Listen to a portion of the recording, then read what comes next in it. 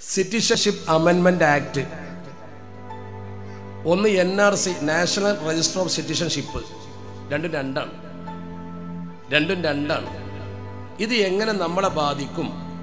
അതാണ് നമ്മുടെ മുമ്പിലുള്ള പ്രശ്നം.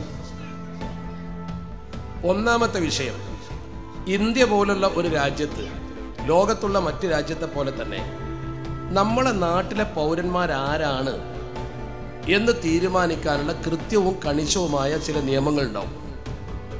ആ നിയമം ഇന്ത്യയിലുമുണ്ട്. ഇന്നുള്ളതല്ല തൊള്ളായിരത്തി അൻപത്തി അഞ്ച് മുതൽ. ആയിരത്തി തൊള്ളായിരത്തി അൻപത്തി അഞ്ചിൽ ഇന്ത്യ നിർമ്മിച്ച നിയമമാണ് സിറ്റിസൺഷിപ്പ് ആക്ട് സിറ്റിസൺഷിപ്പ് ആക്ട് എന്നാണ് ഇതിന് പറയുന്നത്. ഈ ആയിരത്തി തൊള്ളായിരത്തി അമ്പത്തി അഞ്ചിലെ സിറ്റിസൺഷിപ്പ് ആക്ടിൽ രണ്ട് പ്രധാനപ്പെട്ട മുഖങ്ങളാണ് അതിലുള്ളത് acquisition and determination acquisition and determination of citizenship എന്ന് അതിന് പറയാം. നമുക്ക് പൗരത്വം നേടിയെടുക്കാനും നമ്മുടെ ഈ ആളുകൾ പൗരന്മാരാണോ എന്ന് നിർണയിക്കാനും നേടുക നിർണയിക്കുക. ഇപ്പൊ എനിക്ക് ഇന്ത്യൻ പൗരത്വം നേടണം. അതിനുള്ള വഴി എന്താ? ഈ ഇരിക്കുന്ന ഒരാൾ ഇന്ത്യൻ പൗരനാണോ അല്ലേ എന്ന് എങ്ങനെ നിർണയിക്കുക? ഇതാണ് ഡിറ്റർമിനേഷൻ ആദ്യത്തേതാണ് അക്വിസിഷൻ ഇതിനുള്ള മാർഗം ശരിക്കും ഈ വകുപ്പിൽ പറയുന്നു. അത് പൂർണമായൊരു വകുപ്പാണ്. അത് നമ്മുടെ രാജ്യത്ത് തൊള്ളായിരത്തി അമ്പത്തഞ്ച് മുതൽ ഉള്ള നിയമമാണ്. ശരിക്കും ശ്രദ്ധിക്കണം പറയുന്നത്. രാജ്യത്തിന്റെ നിയമകാര്യത്തെ കുറിച്ചാണ് പറയുന്നത്. ഇത് നമ്മുടെ രാജ്യത്ത് നിലനിൽക്കുമ്പോൾ നമ്മുടെ രാജ്യത്തെ ജനവിഭാഗത്തിൽ ഇത് രണ്ടും പരിശോധിച്ച് പൗരന്മാരല്ലാത്ത ആളുകൾ ആരാണെന്ന് കണ്ടെത്താൻ ഇല്ലീഗൽ മൈഗ്രന്റ് ആരാണെന്ന് പറയുന്നുണ്ട്. ഇല്ലീഗൽ മൈഗ്രന്റ് എന്ന് പറഞ്ഞാൽ അനധികൃത കുടിയേറ്റക്കാരൻ. അത് രണ്ട് വിഭാഗം ആളുകളാണ്. ഒന്ന് നമ്മുടെ രാജ്യത്ത് without a valid passport or travel document യഥാർത്ഥ യാത്രാരേഖയോ അതല്ലെങ്കിൽ പാസ്പോർട്ടോ ഇല്ലാതെ ഇവിടെ ജീവിക്കുന്ന ആൾ ഇല്ലീഗൽ മൈഗ്രന്റ് ആണ് അനധികൃത കുടിയേറ്റക്കാരനാണ്. രണ്ട് with a legal passport or travel document but it is invalid അവന്റെ കയ്യിൽ പാസ്പോർട്ട് നേരത്തെ ഉണ്ട്. യാത്രാ രേഖ ഉപയോഗിച്ച് വന്ന ആളാണ് പക്ഷെ അത് ഇൻവാലിഡാ അതിനിപ്പം നിലനിൽപ്പില്ല അത് പുതുക്കിയിട്ടില്ല അത് ശരിയല്ല നിബന്ധന ഒത്തതല്ല. ഈ രണ്ടാളുകൾ ഇന്ത്യ മഹാരാജ്യത്ത് ഇല്ലീഗൽ മൈഗ്രന്റ് അഥവാ കുടിയേറ്റക്കാരനാണ്. ഞാൻ അഭയാർത്ഥി എന്ന് പറഞ്ഞാലും വേണ്ടില്ല കുടിയേറ്റക്കാരെന്ന് പറഞ്ഞാലും വേണ്ടില്ല നുഴഞ്ഞേറ്റക്കാരെന്ന് പറഞ്ഞാലും വേണ്ടില്ല എന്ത് പറഞ്ഞാലും വേണ്ടില്ല. ഇവിടെ നമ്മുടെ രാജ്യത്ത് ഇങ്ങനെയുള്ള കുടിയേറ്റക്കാരാരാണ് എന്ന് കണ്ടെത്താൻ തൊള്ളായിരത്തി അൻപത്തി ഒന്നിലെ നമ്മുടെ സ്വതന്ത്ര ഇന്ത്യയിലെ ആദ്യത്തെ സെൻസസ് പട്ടിക അനുസരിച്ച് ആദ്യത്തെ സെൻസസ് രേഖ അനുസരിച്ച് നമ്മുടെ രാജ്യത്ത് പരിശോധന നടത്തിയിട്ടുണ്ട്. അങ്ങനെ പരിശോധന നടത്തി വോട്ടർ പട്ടികയിലുള്ള ആളുകൾ പൗരന്മാരാണ്. അവരുടെ മക്കളും ബന്ധുക്കളും ഒക്കെ പൗരന്മാരാണ്. ഇത് രാജ്യത്ത് സുതാര്യമായി നടന്നു വന്നൊരു പ്രക്രിയയാണ്. അതേത് രാജ്യത്തും ഉണ്ടാവും ആ രാജ്യത്തെ പൗരന്മാരെ നിർണയിക്കാനുള്ള മാനദണ്ഡം. അപ്പൊ അതുകൊണ്ട് കുട്ടികൾ ഈ മുന്നിൽ നിന്ന് വലിയ ഒച്ചണ്ട കുട്ടികളെ കളിക്കാൻ മറുപടി ഉണ്ടാക്കിയ എന്ന പ്രശ്നമില്ല. ഒരു തൊട്ട് മുന്നിൽ ഉണ്ടാവണം കുട്ടികൾ കളിക്കും ഒച്ചുണ്ടാക്കിയ ഞാൻ പിടിച്ച് നുള്ളിയെ കുത്തിയൊന്നും വേണ്ട അപ്പോൾ ആ കുട്ടികൾ അതിലോരം ഒച്ചണ്ടാക്കും സുഖമായിട്ട് അവിടെ കൊണ്ട് ഇരുത്തി കൊടുത്താൽ മതി കുട്ടികൾ ചായയും കൊടുത്തിട്ട്. ഒരു ചായയും ബിസ്ക്കറ്റും കൊടുത്താൽ തീരുന്ന പ്രശ്നമുള്ളത്. നിങ്ങൾ ഇങ്ങോട്ട് വരി. പൗരത്വത്തിന്റെ അത്ര ഗൗരവമൊന്നും അതിനില്ല. അപ്പൊ അതുകൊണ്ട് നമ്മൾ മനസ്സിലാക്കേണ്ട വിഷയം ഈ രീതിയിൽ അവരോട് മിണ്ടണ പേടിപ്പിച്ചിരുത്തിയിട്ടൊന്നും കാര്യമില്ല കേട്ടോ അതൊക്കെ ഇപ്പം തീരും. അത് നമ്മൾ മനസ്സിലാക്കേണ്ട കാര്യത്തിലേക്ക് നിങ്ങൾ ഇന്നലെ ശ്രദ്ധ ഇതൊരു ഇങ്ങനത്തെ ഒരു വിഷയമായതുകൊണ്ടാണ്. വേറെ വിഷയമാണെങ്കിൽ നമുക്ക് തട്ടുപൊളിപ്പം പ്രസംഗം നടത്താമായിരുന്നു. നമ്മുടെ രാജ്യത്ത് ഈ വിഷയം നിലനിൽക്കുമ്പോൾ ഇക്കാര്യത്തിൽ ഏറ്റവും കൂടുതൽ പ്രശ്നം ഉണ്ടാവുക അതിർത്തി പ്രദേശത്താണ്. നമ്മുടെ രാജ്യത്തെ ഒരു അതിർത്തി പ്രദേശമാണ് ആസാം. ആസാമിന്റെ ഒരു പ്രത്യേകത എന്താ ചോദിച്ചാൽ ആസാമിൽ നേരത്തെ കുടിയേറ്റം നടക്കുന്നുണ്ട്. ഇഷ്ടംപോലെ കുടിയേറ്റം. ഈ കുടിയേറ്റം എന്ന് പറയുമ്പോൾ അതിന്റെ ഒരു പശ്ചാത്തലം എന്ന് പരിശോധിച്ചാൽ ആസാമിൽ ഒരുപാട് കാടുകൾ. ഈ കാടുകൾ വെട്ടിത്തെളിച്ച് കൃഷി ചെയ്യാൻ ബ്രിട്ടീഷുകാർ തന്നെ ഒരുപാട് ആളുകൾ ഇങ്ങോട്ട് കുടിയേറാൻ സംഭവിച്ചിരുന്നു ഇപ്പൊ നമ്മുടെ നാട്ടിലൊക്കെ നിങ്ങൾക്കറിയാം കോട്ടയത്ത് നിന്ന് ഇടുക്കി എന്നൊക്കെ വന്നിട്ട് നമ്മൾ ഈ മലയോര മേഖലയിൽ കാട് വെട്ടിത്തെളിച്ചിട്ട് നന്നായി കൃഷി ചെയ്യുന്ന ആൾക്കാരുണ്ട്. ഈ കൃഷി ചെയ്യുന്ന ആൾക്കാർ പൊന്നാക്കും ഭൂമി. അപ്പൊ അവർ പണിയെടുത്ത് ഇത് നന്നായി വിളവെടുത്ത് ഉഷാറായി വരുമ്പോൾ വേറുള്ളവർക്ക് ഒരു അസൂയ വരും. ആ നമ്മുടെ നാട്ടിൽ വന്നിട്ട് ഇത്ര വലിയ മുതലുണ്ടാക്കി പോണ ആൾക്കാരോ? നമുക്കതില്ലാത്ത എന്താ വെച്ചാൽ നമുക്ക് കുറച്ച് വിദ്യാഭ്യാസം ഉണ്ട് കുറച്ച് ബോധമുണ്ട് അതുകൊണ്ട് നമുക്ക് അങ്ങനത്തെ ഒരു കുഴപ്പമില്ല. നേരെ മറിച്ച് അവിടെ അങ്ങനല്ല. ആസാമിൽ ഇതിങ്ങനെ വളർന്നു വന്നപ്പോൾ ഒരു പ്രത്യേക ഒരു- ഒരു വെറുപ്പ് ഇവരോട് വന്നു. അന്യ നാട്ടിൽ നിന്ന് വന്നിട്ട് ഇവിടെ കൃഷി ചെയ്താണ്ട് അവർ വലിയ മുതലാളിമാരാൻ പോവാണ്. ഇങ്ങനെയുള്ള ഈ പ്രശ്നങ്ങൾ അതൊരു വർഗീയ പ്രശ്നമായി വംശീയ പ്രശ്നമായി ഗോത്രീയ പ്രശ്നമായി.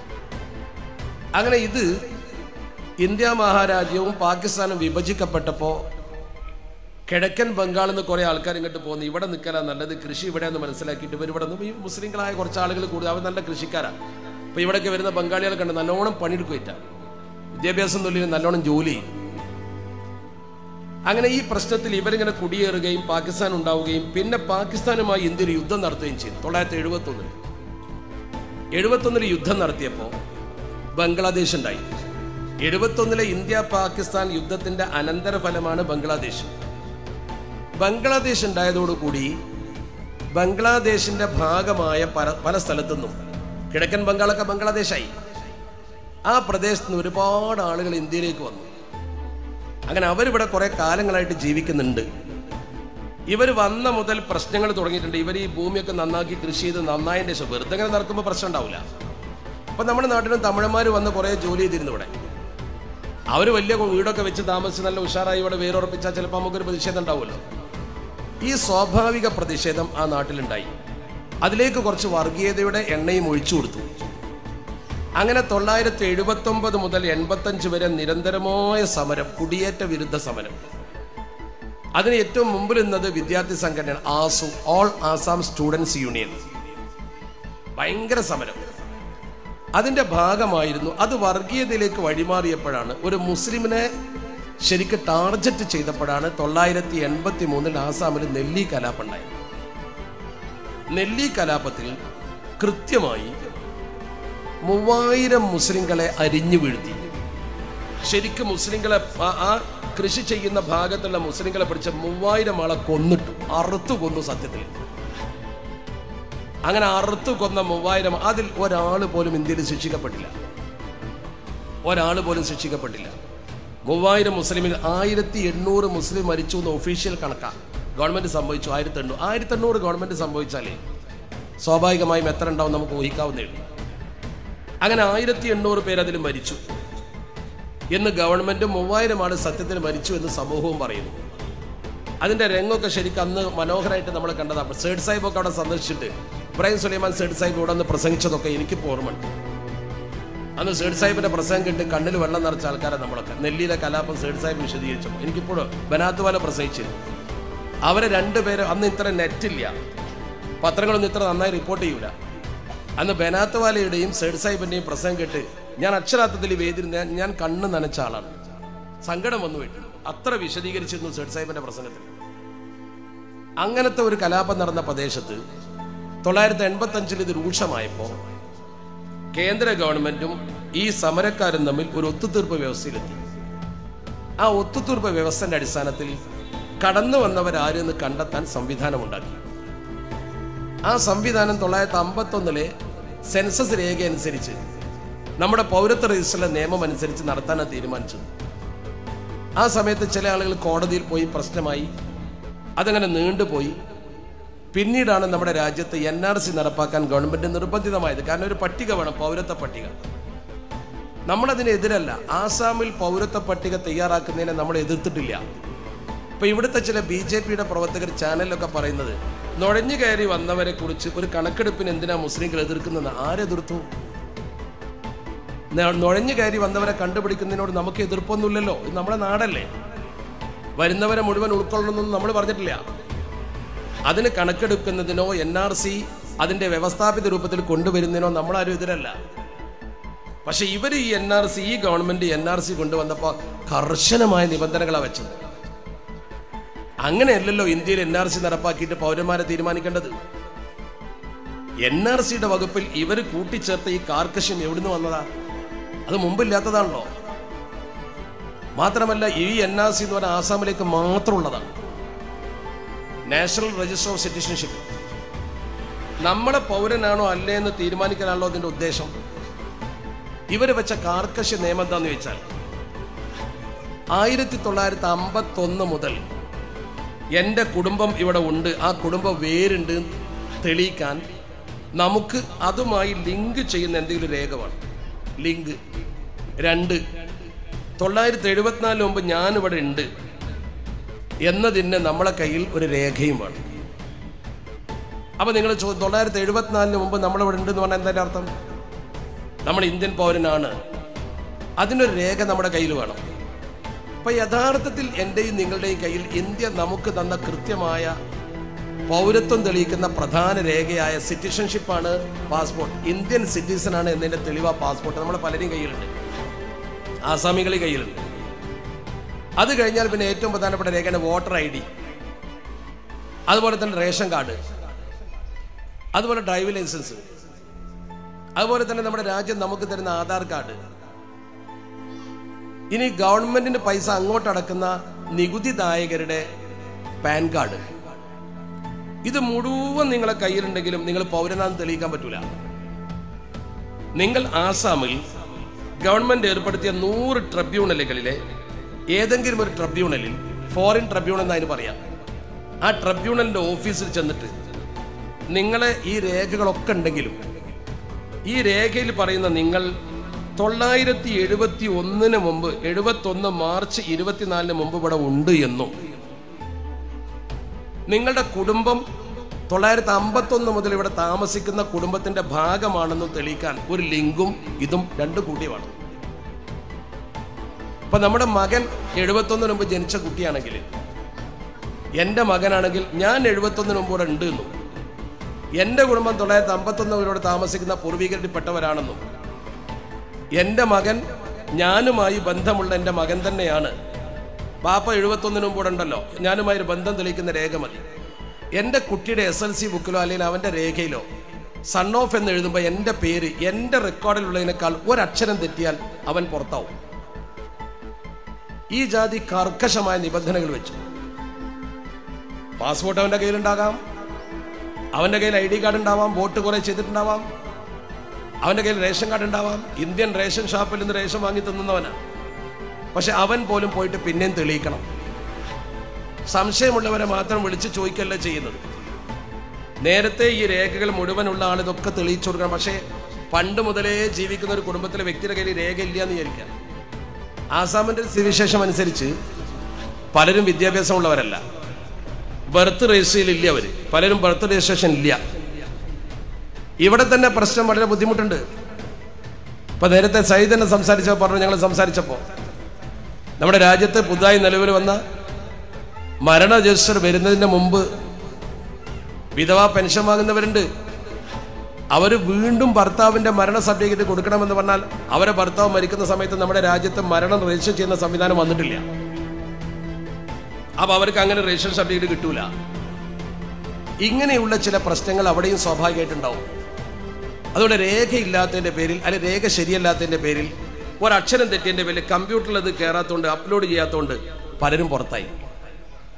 ചുരുക്കത്തിൽ എൻ ആർ സി എന്ന് പറയുന്ന ദേശീയ പൗരത്വ പട്ടിക ആസാമിൽ നടപ്പാക്കിയപ്പോൾ പത്തൊമ്പത് ലക്ഷം ആളുകൾ പുറത്തായി. പത്തൊമ്പത് ലക്ഷം ആളുകൾ പുറത്തായപ്പോൾ അതിൽ പന്ത്രണ്ട് ലക്ഷവും മുസ്ലിങ്ങൾ അല്ലാത്തവരായി പോയി. അത് ഇവരെ ഞെട്ടിച്ചു. ശരിക്കും ശ്രദ്ധിക്കണം. പത്തൊമ്പത് ലക്ഷത്തിൽ പന്ത്രണ്ട് ലക്ഷം മുസ്ലിങ്ങളായില്ല. അങ്ങനെ വന്നപ്പോൾ ഉണ്ടായ ഏറ്റവും വലിയ പ്രശ്നം ഇവർ പ്രതീക്ഷിക്കാത്തതാണ് സംഭവിച്ചത്. മുസ്ലിങ്ങളല്ല പുറത്തായത്. ഇവരുടെ ഉദ്ദേശം അതായിരുന്നു. ഇവരുടെ ഉദ്ദേശം രാജ്യം രക്ഷിക്കലല്ല. ഇവരുടെ ഉദ്ദേശം യഥാർത്ഥത്തിൽ മുസ്ലിം സമൂഹത്തെ ടാർഗറ്റ് ചെയ്യലാണ്. പക്ഷെ പത്തൊമ്പത് ലക്ഷം പുറത്തായപ്പോൾ ഒരു അന്തം വിട്ടു. അന്തം വിട്ടെന്ന് മാത്രമല്ല പുറത്തായവരുടെ ലിസ്റ്റ് നെറ്റിൽ വന്നു പലതും. അതിൽ ഏറ്റവും പ്രധാനമായി പരിശോധിച്ച പറഞ്ഞിട്ട് B J P M L A Ramakant പുറത്തായി. ബി ജെ പിയുടെ എം എൽ എ രമാകാന്ത് അയാളെ പേര്. അയാൾ പുറത്തായി. അതുപോലെ തന്നെ A I U D F എന്ന് പറയുന്ന സംഘടനയുടെ ഒരു പ്രതിനിധി അനന്തകുമാർ പുറത്തായി. വലിയ നേതാവ് രാഷ്ട്രീയ നേതാവ് ആസാമിലെ. അതുപോലെ തന്നെ ഉൾഫ നേതാവ് പരേഷ് ബറുവ. അയാളെ ഭാര്യ ബോബി ബുയാൻ പുറത്തായി. മുസ്ലിങ്ങളല്ലേ പുറത്താവുന്ന മനസ്സിലാക്കണം നിങ്ങൾ നമ്മുടെ പ്രസിഡന്റിന്റെ കയ്യിൽ നിന്ന് സേവനത്തിലുള്ള മെഡൽ വാങ്ങിയ സെനാവുള്ള പുറത്തായി. ഫക്രുദ്ദീൻ അലി അഹമ്മദ് ഇന്ത്യയുടെ പ്രസിഡന്റ് ആയ ആളാണ് ഫക്രുദ്ദീൻ അലി അഹമ്മദിന്റെ സഹോദരൻ ഇക്രാമുദ്ദീൻ അഹമ്മദ്. അയാളെ മക്കൾ പുറത്തായി. ഇന്ത്യയിൽ കാലങ്ങളായി ജീവിക്കുന്ന ആളുകൾ പുറത്തായി ചെറിയൊരു ലേഖന്റെ വ്യത്യാസം കൊണ്ട് മമത ബാനർജി പറഞ്ഞു എന്റെ പൂർവികർ തൊള്ളായിരത്തി അൻപത്തി ഒന്നിന് മുമ്പ് ഇവിടെ ഉണ്ടെന്ന് തെളിയിക്കാൻ എനിക്ക് കഴിയില്ല എന്ന് പറഞ്ഞു. ഞാൻ ഇന്ത്യക്കാരിയാണ്. എന്റെ കയ്യിൽ രേഖയൊന്നുമില്ല. ബംഗാളിൽ അങ്ങനെ ഒന്ന് വന്നാൽ എനിക്ക് കൊടുക്കാൻ ഒരു രേഖയും തൊള്ളായിരത്തി അമ്പത്തൊന്ന് മുതൽ എന്റെ കുടുംബം ഇവിടെ ഉണ്ടെന്ന് തെളിയിക്കാൻ എന്റെ കയ്യിൽ രേഖയില്ല എന്ന് പറഞ്ഞു. ഈ നൂറ് ഫോറിൻ ട്രിബ്യൂണലുകളിൽ ഇതുപോലെ രജിസ്റ്റർ ചെയ്ത് പട്ടിക പുറത്തു വിട്ടപ്പോൾ പത്തൊമ്പത് ലക്ഷം പുറത്തായതിൽ പന്ത്രണ്ട് ലക്ഷവും ഒരു സമുദായമായപ്പോൾ ഇവർക്ക് തലവേദനയായി. ഈ പന്ത്രണ്ട് ലക്ഷത്തിന് പൗരത്വം കൊടുക്കാതിരുന്നാൽ അവർക്ക് ഇന്ത്യയിൽ നിൽക്കാൻ പറ്റൂല. മുസ്ലിങ്ങൾ അവഗണിച്ചാൽ ഒന്നും വരാനെന്ന് അവർ തീരുമാനിച്ചു.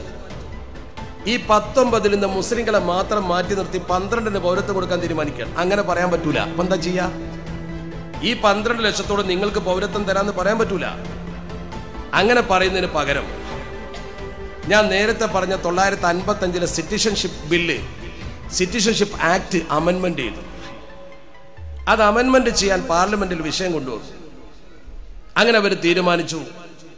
ആറ് മതക്കാർക്ക് പൗരത്വം കൊടുക്കാം. അതിന്റെ മാനദണ്ഡം എന്താ? അവരിവിടെ ഇന്ന കാലം ഉണ്ടായിരുന്നു തെളിയിക്കുമ്പോൾ മാനദണ്ഡം എന്താ? മാനദണ്ഡം ഇവിടെ നേരത്തുള്ള മാനദണ്ഡം ഉണ്ട്. തൊള്ളായിരത്തി എഴുപത്തി ഒന്ന് മുതൽ ഞാൻ ചോദിക്കട്ടെ പൗരത്വം കൊടുക്കാൻ തീരുമാനിച്ചാൽ മാനദണ്ഡം മാറ്റേണ്ട ആവശ്യം എന്താ? പൗരത്വം കൊടുക്കാൻ തീരുമാനിച്ചു. തൊള്ളായിരത്തി എഴുപത്തി ഒന്ന് മുതൽ ഇവിടെ ഉണ്ടെന്ന് രേഖ തെളിയിക്കുക. അമ്പത്തൊന്ന് മുതലുള്ള കുടുംബമായി ലിങ്ക് തെളിയിക്കുക. എന്നാ പൗരത്വം കൊടുക്കാൻ തീരുമാനിച്ചു. ഒരു പുനഃപരിശോധന നടത്തി. അങ്ങനെയല്ലല്ലോ ചെയ്തത്. മറിച്ച് എന്താ ചെയ്തത്?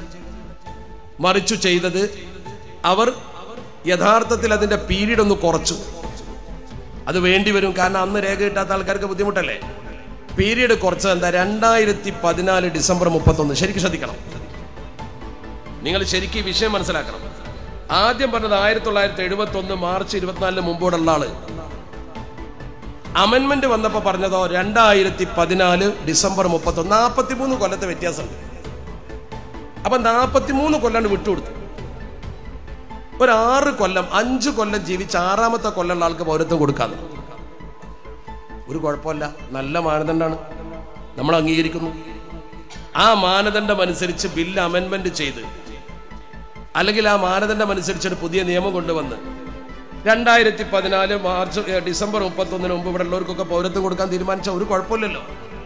ഒരു രാജ്യമല്ലേ? രാജ്യത്തൊരു നിയമം വേണ്ടി വരുമല്ലോ പക്ഷെ ഇവർ ചെയ്തതോ? ഡേറ്റ് വെച്ചു രണ്ടായിരത്തി പതിനാല് ഡിസംബർ മുപ്പത്തൊന്ന്. പക്ഷെ ആർക്കേ കൊടുക്കൂ?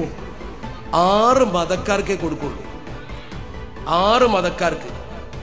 ഹിന്ദുക്കൾ ക്രിസ്ത്യാനികൾ ബുദ്ധർ ജൈനർ സിഖുകാർ പാഴ്സികൾ മുസ്ലിങ്ങൾ കൊടുക്കൂല. മാത്രമല്ല അവരെന്ത് രേഖ ഹാജരാക്കേണ്ടത്? അവരെ പൂർവികന്മാരെ രേഖ വേണ്ട അവരിവിടെ എത്ര താമസം ഒന്നും വേണ്ട. രണ്ട് കാര്യം മാത്രം മതി. ഒന്നെന്താ? അഞ്ച് കൊല്ലം മുമ്പ് ഞാനിവിടെ ഉണ്ട്. ഞാൻ പാകിസ്ഥാനിൽ നിന്ന് വന്നതാണ് അഭയാർത്ഥിയായിട്ട്. അല്ലെങ്കിൽ ഞാൻ ബംഗ്ലാദേശിൽ നിന്ന് വന്നതാണ് അഭയാർത്ഥിയായിട്ട്. അല്ലെങ്കിൽ ഞാൻ അഫ്ഗാനിസ്ഥാനിൽ നിന്ന് ഈ മൂന്ന് രാജ്യങ്ങളിൽ നിന്ന് അഭയാർത്ഥികളായി വന്ന രണ്ടായിരത്തി പതിനാല് ഡിസംബർ മുപ്പത്തൊന്നിന് മുമ്പുള്ളവർക്കൊക്കെ കൊടുക്കും. അതിൽ നിന്ന് എന്തിനെ മുസ്ലിമിനെ ഒഴിവാക്കിയത്? അതിൽ നിന്ന് മുസ്ലിമിന് എന്തിനു ഒന്നാമത്തെ ചോദ്യം അതാണ് രണ്ടായിരത്തി പതിനാല് ഡിസംബർ മുപ്പത്തൊന്നിന് മുമ്പ് ഇവിടെ വന്ന അഭയാർത്ഥികളായ ഇവർ പറയുന്നു ഞങ്ങൾ അഭയാർത്ഥികൾക്കാണ് കൊടുക്കുന്നത്. അഭയാർത്ഥികളായിക്കോട്ടെ. അഭയാർത്ഥികളായ മുസ്ലിങ്ങൾക്ക് കൊടുത്തൂടെ. അതിന് ഇവർ പറയുന്നത് ഈ മൂന്ന് രാജ്യത്തെ മുസ്ലിങ്ങൾ അഭയാർത്ഥികളാകൂല അവിടെ മുസ്ലിങ്ങൾക്ക് സംരക്ഷണമുണ്ട് ശരി. അതിർത്തി പ്രദേശം എന്ന നിലക്കല്ലേ ഈ മൂന്ന് രാജ്യം തിരഞ്ഞെടുത്തത്? അങ്ങനെയാണെങ്കിൽ അഫ്ഗാനെ തെരഞ്ഞെടുക്കുന്നതിന് മുമ്പ് തിരഞ്ഞെടുക്കേണ്ട രാജ്യം വേറെ ഉണ്ട് അഫ്ഗാനെ തെരഞ്ഞെടുക്കുന്നതിന് മുമ്പ് മുൻകണ്ട കൊടുക്കേണ്ടതായിരിക്കാം? ഏതെങ്കിലും ഒരു നിയമ നിർമ്മാതാവിന് പറയാൻ പറ്റുമോ അഫ്ഗാൻ ഇന്ത്യയുമായി ഏത് കിലോമീറ്റർ അതിർത്തി പങ്കിടുന്നത്? പറയട്ടെ. ആയിരത്തി അറുന്നൂറ് കിലോമീറ്റർ പങ്കിടുന്ന രാജ്യമാണ് മ്യാൻമാർ. മ്യാൻമാറിൽ നിന്നാണ് ഏറ്റവും കൂടുതൽ പാവപ്പെട്ട മുസ്ലിങ്ങൾ പീഡിതരായി പുറത്തുള്ളത്. അവർ ഇന്ത്യയിൽ വന്നിട്ട് കാശ്മീരിൽ തൽക്കാലം വാടക കൊടുത്ത് കൂര കെട്ടി താമസിക്കുമ്പോൾ വാടക കൊടുത്ത് കൂര കെട്ടുക. പതിനായിരം രൂപ രണ്ടാൾക്ക് കിടക്കാൻ മാത്രമുള്ള വട്ടത്തിൽ ഒരു ഓലപ്പുര കിട്ടിയ പതിനായിരം രൂപ ഭൂമിക്ക് കൊടുക്കണം. അങ്ങനെ വാടകയ്ക്ക് എടുത്തിട്ട് പാവങ്ങൾ താമസിച്ചു പട്ടിണിക്കാർ കൂലി വേല ചെയ്ത് പൈസ ഉണ്ടാക്കി കൊടുത്തു. എരന്നിട്ട് ജീവിക്കുന്നവർ. ആക്രിക്കടയിലേക്ക് സാധനം പെറുക്കി കുട്ടികളെ കൊണ്ട് വിറ്റ് ജീവിക്കുന്നവർ. അഭയാർത്ഥികൾക്ക് അഭയം കൊടുക്കുന്ന പറയുന്ന ഇന്ത്യ മഹാരാജ്യത്തെ ഭരണകർത്താക്കൾ ചെയ്ത പണി എന്താ? സുപ്രീം കോടതി പോയിട്ട് ഇവരെ പുറത്താക്കണം എന്നാ വാദിച്ചത്. അപ്പൊ ജീവകാരുണ്യം എന്നുള്ളതിന്റെ പിന്നിൽ.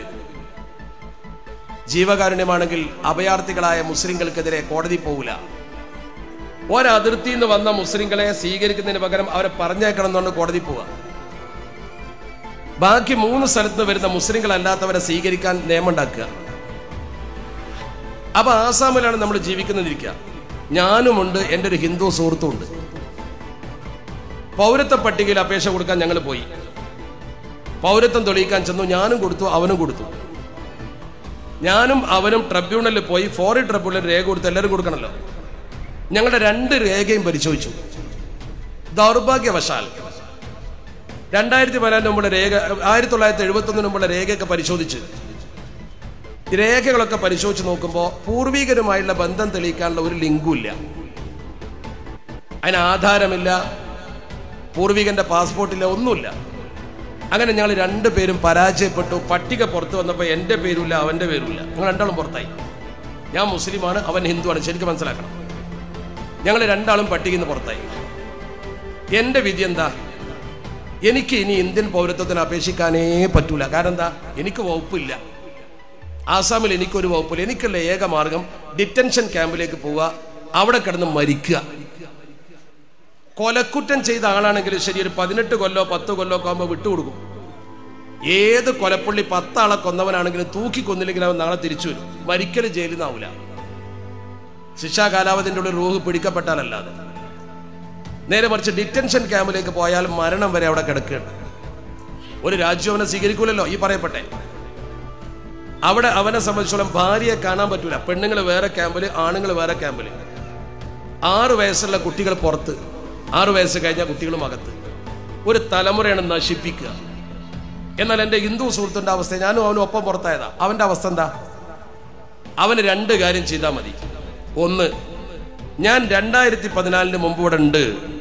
അത് അവന് കഴിയും. അഞ്ചൊല്ലല്ലേ അഞ്ചൊല്ലം ഇവിടെ ഉണ്ട്. തെളിയിക്കാൻ അവന് പറ്റും. പിന്നെന്തേ വേണ്ടു? രണ്ടാമത്തത് ഞാൻ പാകിസ്ഥാനിൽ നിന്ന് വരികയാണ്.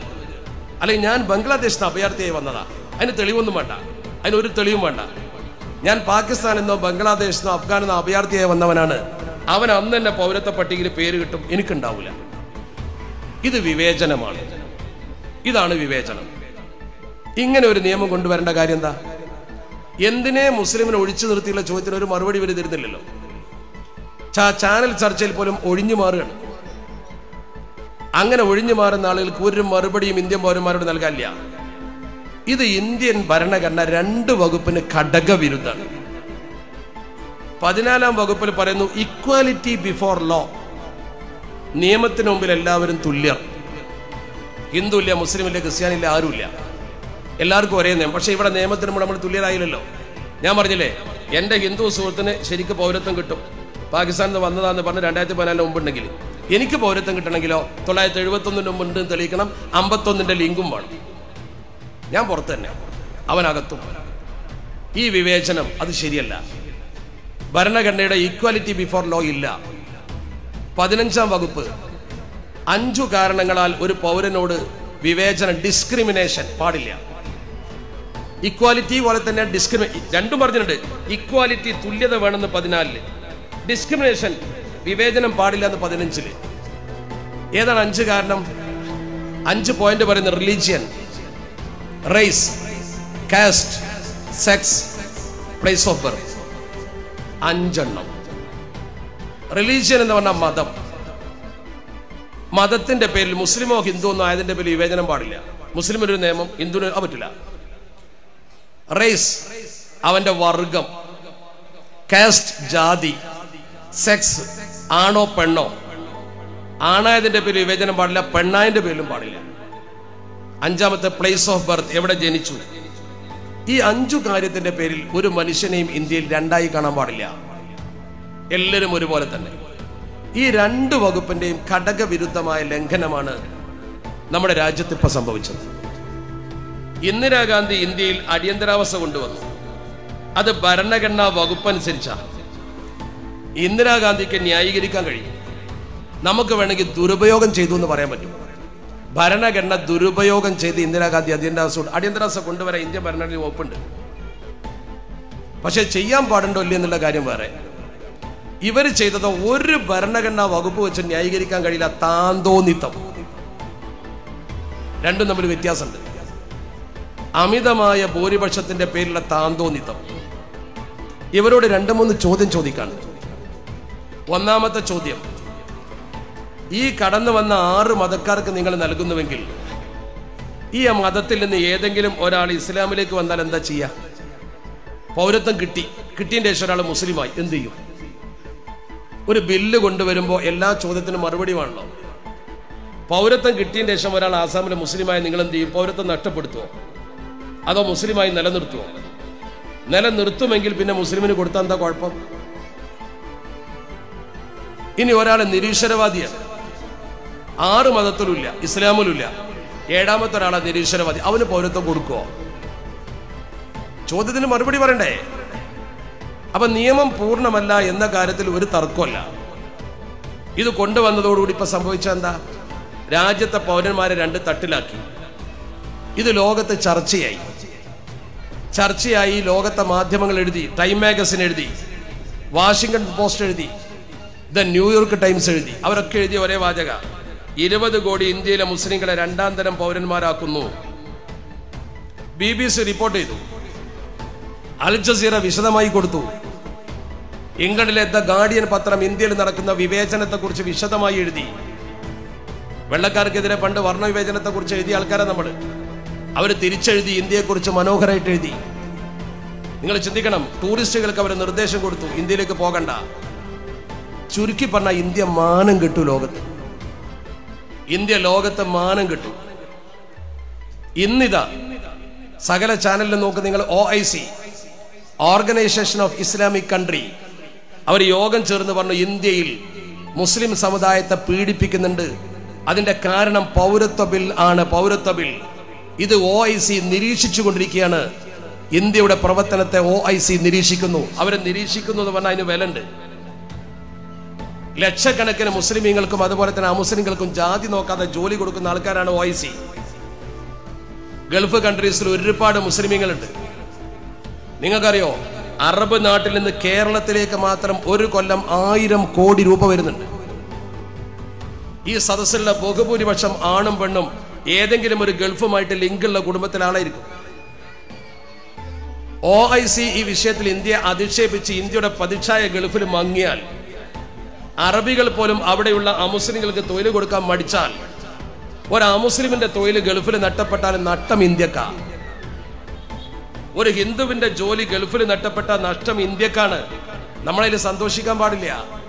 അറബികൾക്ക് അങ്ങനെ ഒരു മൂഡ് വന്നാൽ നമ്മളാകെ പഴച്ചുപോയി.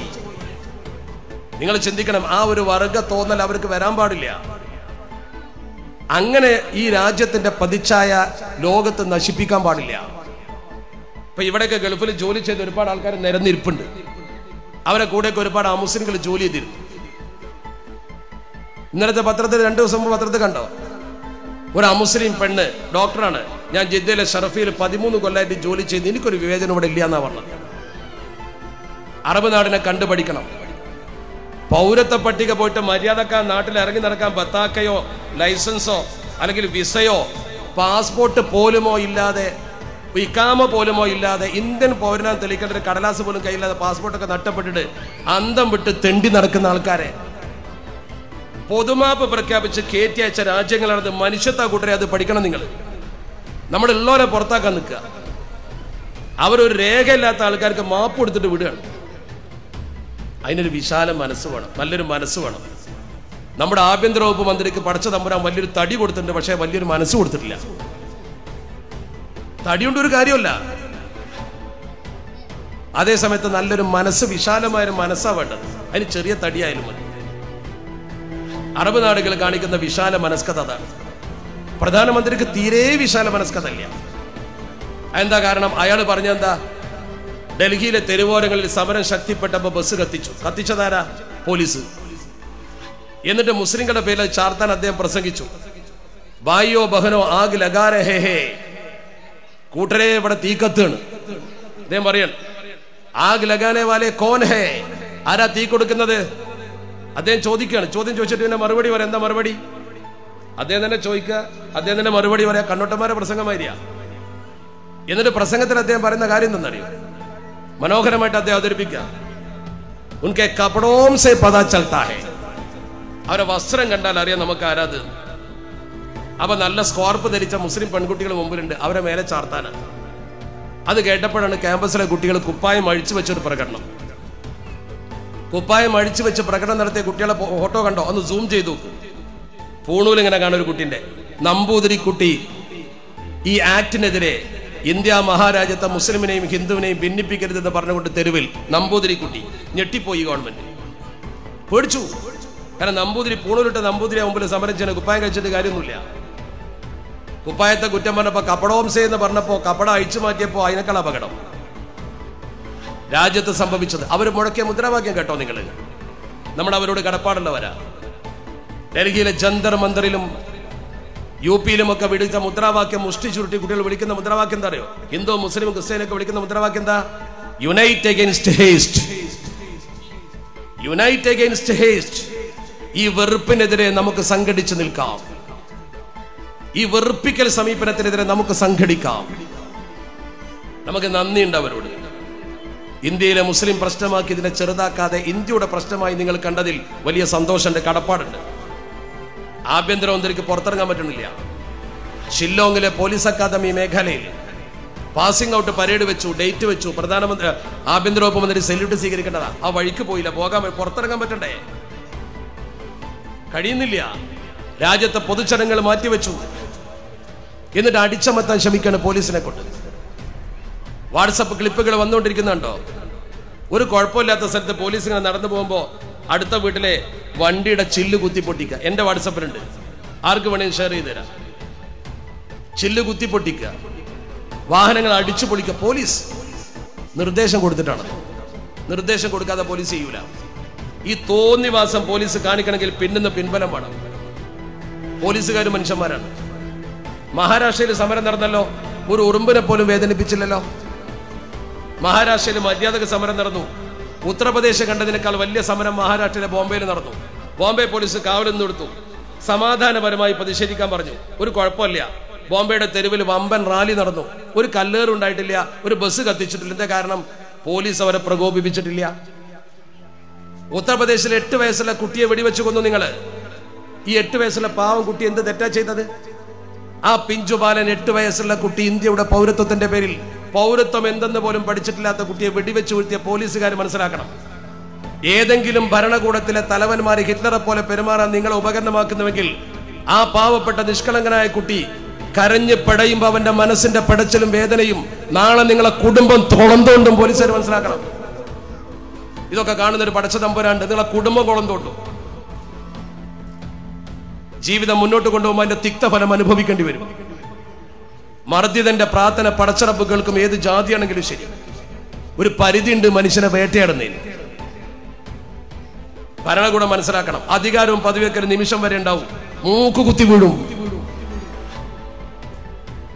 ലോകത്തെ വലിയ ഭരണാധികാരിയാണ് ട്രംപ്. ട്രംപിനെ ഇംപീച്ച് ചെയ്ത ജനങ്ങൾക്ക് ഇന്ത്യൻ ഭരണകൂടത്തെ ഇംപീച്ച് ചെയ്യാൻ ഒരു പ്രയാസം ഉണ്ടാവില്ല. തെരുവ് വിചാരണ ചെയ്യും. അതിന് നമ്മൾ അതിനനുസരിച്ച് രാജ്യത്ത് കൂട്ടായ്മ ഉണ്ടാക്കണം. എന്നിട്ട് അവർ ചെയ്യുന്ന പണി എന്താ ഫോണും നെറ്റും കട്ട് ചെയ്യാം. ഇന്ദിരാഗാന്ധി പോലും അടിയന്തരാവസ്ഥ കാലത്ത് ഫോൺ കട്ട് ചെയ്തിട്ടില്ല. ചെയ്തിട്ടില്ല. അങ്ങനെ ഒരു സമരമില്ല. ഇവർ നെറ്റ് കട്ട് ചെയ്യുക എന്നിട്ട് നെറ്റ് കട്ട് ചെയ്തിട്ട് ഒരു വിവരവും പുറത്തറിയാൻ ശ്രമിക്കുക അറിയാതിരിക്കാൻ ശ്രമിക്കുക എന്നിട്ട് പിന്നീട് നെറ്റ് പുനഃസ്ഥാപിച്ചു കൊടുക്കുക കുറെ കഴിയുമ്പോൾ. ഇപ്പൊ ആ കാശ്മീരിലെ അവസ്ഥ എന്താ? കാശ്മീരിൽ എന്താ നടക്കുന്നത് നമ്മൾ അറിയില്ല ഒരു പത്രത്തിൽ വായിച്ചു. അവർ കണക്കെടുത്ത് പണത്തിട്ട് പറഞ്ഞു ആറ് ഏഴായിരത്തി അറുന്നൂറ് കോടി കാശ്മീരിന് നഷ്ടമാണ്. ആപ്പിൾ പുറത്തേക്ക് പോകണില്ല കൃഷി മര്യാദയ്ക്ക് നടക്കണില്ല. പുറത്തിറങ്ങാൻ പറ്റുന്നില്ല. ജീവിക്കാൻ പോലും പ്രയാസപ്പെടുന്ന മനുഷ്യന്മാർ എന്താ പ്രയാസം? പ്രയാസത്തിന് കാരണമുണ്ട് ഡിജിറ്റൽ ഇന്ത്യ എന്ന് പറഞ്ഞിട്ട് കൊണ്ടുവന്നിട്ട് എല്ലാവരും പൈസയും ബാങ്കിലാണ്. എന്നിട്ട് നിങ്ങൾക്ക് എ കാർഡ് തന്നു. നിങ്ങളെ അക്കൗണ്ട് ആധാറുമായി ലിങ്ക് ചെയ്തു. എല്ലാ വിവരവും വരെ കയ്യിലുണ്ട്. ചിലരുടെയൊക്കെ അക്കൗണ്ട് ഫ്രീസ് ചെയ്തു. നെറ്റ് കട്ട് ചെയ്തപ്പോൾ അപ്പം നിങ്ങളൊക്കെ വലിയ ആൾക്കാരാ. വേദിയിലും സദസ്സിലൊക്കെ ഇരിക്കുന്ന ആൾക്കാർ അത്യാവശ്യം പൈസയും പണമൊക്കെ ഉള്ള ആൾക്കാർ ഇവിടെ ഉണ്ടാവും. നല്ലോണം ബാങ്കിൽ നിക്ഷേപിച്ചിട്ടുണ്ടാവും. ഒരു ദിവസം ഇവിടെ വന്നിട്ട് നെറ്റാണ് കട്ട് ചെയ്താൽ എ ടി എം അഞ്ച് പൈസ കിട്ടൂല അരി വാങ്ങാൻ പൈസ ഉണ്ടാവില്ല പട്ടിണി കിടക്കേണ്ടി വരും വീട്ടിൽ. സമ്പന്നൻ ദരിദ്രനാണ് അങ്ങനെയാ. നമ്മളൊക്കെ ശരിക്കൊരു കെണി കുടുക്കി വെച്ചിട്ടുണ്ട്. ഒരു ദിവസം ഇതിന്റെ സെർവർ കട്ട് ചെയ്താൽ നിങ്ങൾ അഞ്ച് പൈസ എ ടി എം ഒന്നും കിട്ടൂല. നിങ്ങളെ കാർഡ് മാത്രം ബാക്കി ഉണ്ടാവും അതുകൊണ്ട് ഇങ്ങനെ നടക്കാം. ഡിജിറ്റൽ ഇന്ത്യ ഡിജിറ്റൽ ഇന്ത്യ എന്നും പറഞ്ഞിട്ട്. അങ്ങനെ ഒരു സമൂഹത്തെ തങ്ങളെ വരുതിക്ക് വരുത്താൻ ഗവൺമെന്റ് ചെയ്യുന്ന പണിയാണ്. ചിന്തിക്കണം നിങ്ങൾ software software software freedom law എന്ന് പറഞ്ഞൊരു സംഘടന ഉണ്ട്. ന്യൂയോർക്കിൽ എന്റെ ആസ്ഥാനം. സോഫ്റ്റ്വെയർ ഫ്രീഡം ലോ അവർ പറഞ്ഞു തൊണ്ണൂ- തൊണ്ണൂറ്റിനാല് തവണ ഈ ഗവൺമെന്റ് വന്നതിന് ശേഷം ഇന്ത്യയിൽ പല സ്ഥലത്തും നെറ്റ് കട്ട് ചെയ്തു. തൊണ്ണൂറ്റിനാല് തവണ. അതുകൊണ്ട് അവർക്കുണ്ടായ നഷ്ടം ഇത് കൊടുക്കുന്ന സെർവറിലുണ്ടാവുന്ന നഷ്ടം മുന്നൂറ് കോടി ഡോളർ അവർ വിലയിരുത്തി. അറുപത്തഞ്ച് കോടി ജനങ്ങൾ ഇന്ത്യയിൽ ഇത് ഉപയോഗിക്കുന്നുണ്ട് അത്ര നെറ്റ്. കൂലിപ്പണിക്കാരന്റെ കയ്യിലുണ്ട് നെറ്റ്. ആ ഉണ്ട് ഉണ്ട്. എല്ലാവരുടെ കയ്യിലുണ്ട്. അടിച്ചു തുടക്കാൻ വരുന്ന സ്ത്രീകളെ കയ്യിലുണ്ട് നെറ്റ് അവർ നെറ്റ് ഉപയോഗിക്കും. ലോക വിവരം എല്ലാവരുടെ കയ്യിലുണ്ട്. ഈ നെറ്റ് ഉപയോഗിക്കുമ്പോൾ ഇത് അറുപത്തഞ്ച് കോടി ജനങ്ങളെ കയ്യിലുണ്ട്. നിങ്ങൾ മനസ്സിലാക്കണം. കേരളത്തിലുള്ള ജനങ്ങളുടെ അവസ്ഥ നോക്ക് നിങ്ങൾ നമ്മുടെ ജനസംഖ്യയേക്കാൾ കൂടുതൽ ഫോൺ ഉപയോഗിക്കുന്ന ആൾക്കാരുണ്ട്. ഒരാൾക്ക് മൂന്ന് നാല് നമ്പറാണ് അപ്പൊ ഈ ഒരു അവസ്ഥ വിശേഷത്തിൽ നമ്മുടെ രാജ്യത്ത് ഇങ്ങനെ ഒരു പ്രശ്നം വന്നപ്പോൾ നമുക്കുള്ള നേരിയൊരു ആശ്വാസം എന്താണെന്ന് ചോദിച്ചാൽ ഇന്ത്യൻ പാർലമെന്റിൽ ഇതിനെതിരെ ശബ്ദിച്ചളുടെ കൂട്ടത്തിൽ ഇന്ത്യ കണ്ട പ്രഗത്ഭരായ രാഷ്ട്രീയ നേതാക്കൾ പലരുണ്ട്. പ്രഗത്ഭരായ നിങ്ങളറിയോ മനീഷ് തിവാരി? മുസ്ലിം ലീഗിന്റെ മെമ്പർമാർ ശബ്ദിച്ചതുപോലെ ശബ്ദിച്ചാല മനീഷ് തിവാരി. അഭിഷേക് ബാനർജി. അതുപോലെ തന്നെ അതിരഞ്ജൻ ചൗധരി ശരിക്ക് അസദുദ്ദീൻ ഉവൈസിയേക്കാൾ ഗൗരവത്തിലാണ് വാദിച്ചത്. കല്യാൺ ബാനർജി കപിൽ സിബൽ ശക്തമായി ആഞ്ഞടിച്ചു. ടി ആർ ബാലു മഹുവ മൊയ്ത്തർ അവരൊക്കെ എല്ലാവരും അതിശക്തമായി ഈ പക്ഷത്ത് ഇത് ഇന്ത്യയുടെ കാര്യമാണെന്ന് പറഞ്ഞു നിന്നു. എല്ലാ രാഷ്ട്രീയ പാർട്ടിക്കാരും ഇതിന് രംഗത്തിറങ്ങി. അസം ഗണപരിഷത്ത് നേരത്തെ പിന്തുണച്ചെങ്കിലും പിന്നെ മനമാറ്റം വന്നു. ശിവസേന ആദ്യം വോട്ട് ചെയ്ത് പാർലമെന്റിലെങ്കിലും പിന്നീട് അവർക്ക് മനമാറ്റം വന്നു. നിതീഷ് കുമാർ പറഞ്ഞു ബീഹാറിലേക്ക് പറഞ്ഞു വരണ്ട. ഞാനതിന് അനുകൂലമല്ല ഒഡീഷ മുഖ്യമന്ത്രി നവീൻ പട്നായക് പറഞ്ഞു പറ്റില്ല നടപ്പാക്കാൻ. ഇപ്പൊ അവർ തമ്മിൽ അഭിപ്രായ വ്യത്യാസ. എൻ ഡി എ വിളിക്കാൻ പോയ യോഗം. അവിടെ ശരിക്കും ഇവർ ചെയ്തെന്താണെന്നറിയോ നമ്മൾ എന്ന് പറഞ്ഞ് ആരംഭിക്കുന്ന ഒരു ഭരണഘടനയാണ് നമ്മൾ we the people of India അവരത് രണ്ടാക്കി. അവർ ഇവർ മുസ്ലിങ്ങൾ മറ്റുള്ളവർ. നമ്മൾ എന്നത് അവർ ഇവർ എന്നാക്കി. ഡ്യുവാലിറ്റി എന്നതിന് പറയാം ദ്വന്ദ്മാക്കി അവർ. ശരിക്കും ഇവരിത് പഠിച്ചിട്ട് ചെയ്തത്. അതിന് ടെസ്റ്റ് ഡോസ് കൊടുത്തത് ഇവരിത് പഠിച്ചത് എവിടുന്നാന്ന് ചോദിച്ചാൽ തൊള്ളായിരത്തി മുപ്പത്തഞ്ചിലെ ഹിറ്റ്ലർ കൊണ്ടുവന്ന നിയമം ആ നിയമത്തിൽ ഹിറ്റ്ലർ കൊണ്ടുവന്ന നിയമത്തിൽ ശരിക്കും ഹിറ്റ്ലർ പറഞ്ഞു ഒറ്റ ജൂതന്മാർ ഇവിടെ ഉണ്ടാകാൻ പാടില്ല. അത് അങ്ങനെ പറയാൻ പറ്റില്ല. അപ്പൊ ആ കൊണ്ട് നിയമം കൊണ്ടുവന്ന ഒന്ന് സിറ്റിസൺഷിപ്പ് ലോ ആരാണ് ജർമ്മനിയിലെ സിറ്റിസൺമാർ രണ്ടാമത്തെ ബ്ലഡ് റിലേഷൻ ബ്ലഡ് റിലേഷൻ അതാണ് ഇപ്പോഴും ബ്ലഡ് റിലേഷൻ തെളിയിക്കാനാണ് പറയുന്നത് തൊള്ളായിരത്തി അമ്പത്തി ഒന്നിലെ കുടുംബവുമായുള്ള ബന്ധം ആധാരത്തിലൂടെ തെളിയിച്ചാലും അതൊരു ബന്ധമാണല്ലോ ഹിറ്റ്ലറും പറഞ്ഞ അങ്ങനെ തന്നെയാണ് ബ്ലഡ് റിലേഷൻ ഒരൊറ്റ ജർമ്മനിക്കാരിയെയും ജൂതം വിവാഹം കഴിക്കാൻ പാടില്ല. ഒരൊറ്റ ജർമ്മനിക്കാരനും ജൂതസ്ത്രീയെ വിവാഹം കഴിക്കാൻ പാടില്ല. അവരെ നിയമമാണത്. ആ നിയമം കൊണ്ടുവന്ന് ബ്ലഡ് തമ്മിൽ കലരാൻ പാടില്ല പുറത്തിരുത്തി. അങ്ങനെ ഇവരെ കൊണ്ടുപോയി ഡിറ്റൻഷൻ ക്യാമ്പിലിട്ടു അവസാനം ഗ്യാസ് ക്യാമ്പിലിട്ട് കൊന്നു. ഹോളോകാസ്റ്റ് കൂട്ടക്കൊല എന്ന് അതിന് പറയാം. അവിടെ തുടങ്ങിയത് സിറ്റിസൺഷിപ്പ് തൊട്ടടുത്ത മ്യാൻമാറിലെ അഭയാർത്ഥികൾ എത്രണം വന്നിവിടെ തൊള്ളായിരത്തി എൺപത്തിരണ്ടിൽ അവിടെ നിയമം കൊണ്ടുവന്നു. ആ നിയമത്തിൽ അവർ പറഞ്ഞു ആയിരത്തി എണ്ണൂറ്റി ഇരുപത്തി മൂന്നിൽ ബർമ്മക്കാരനാൻ തെളിയിക്കാൻ രേഖ വേണമെന്ന് പറഞ്ഞു. കഴിയോ അവർക്ക്? അവർ മുഴുവൻ പുറത്തായി. പുറത്താക്കല ലക്ഷ്യം.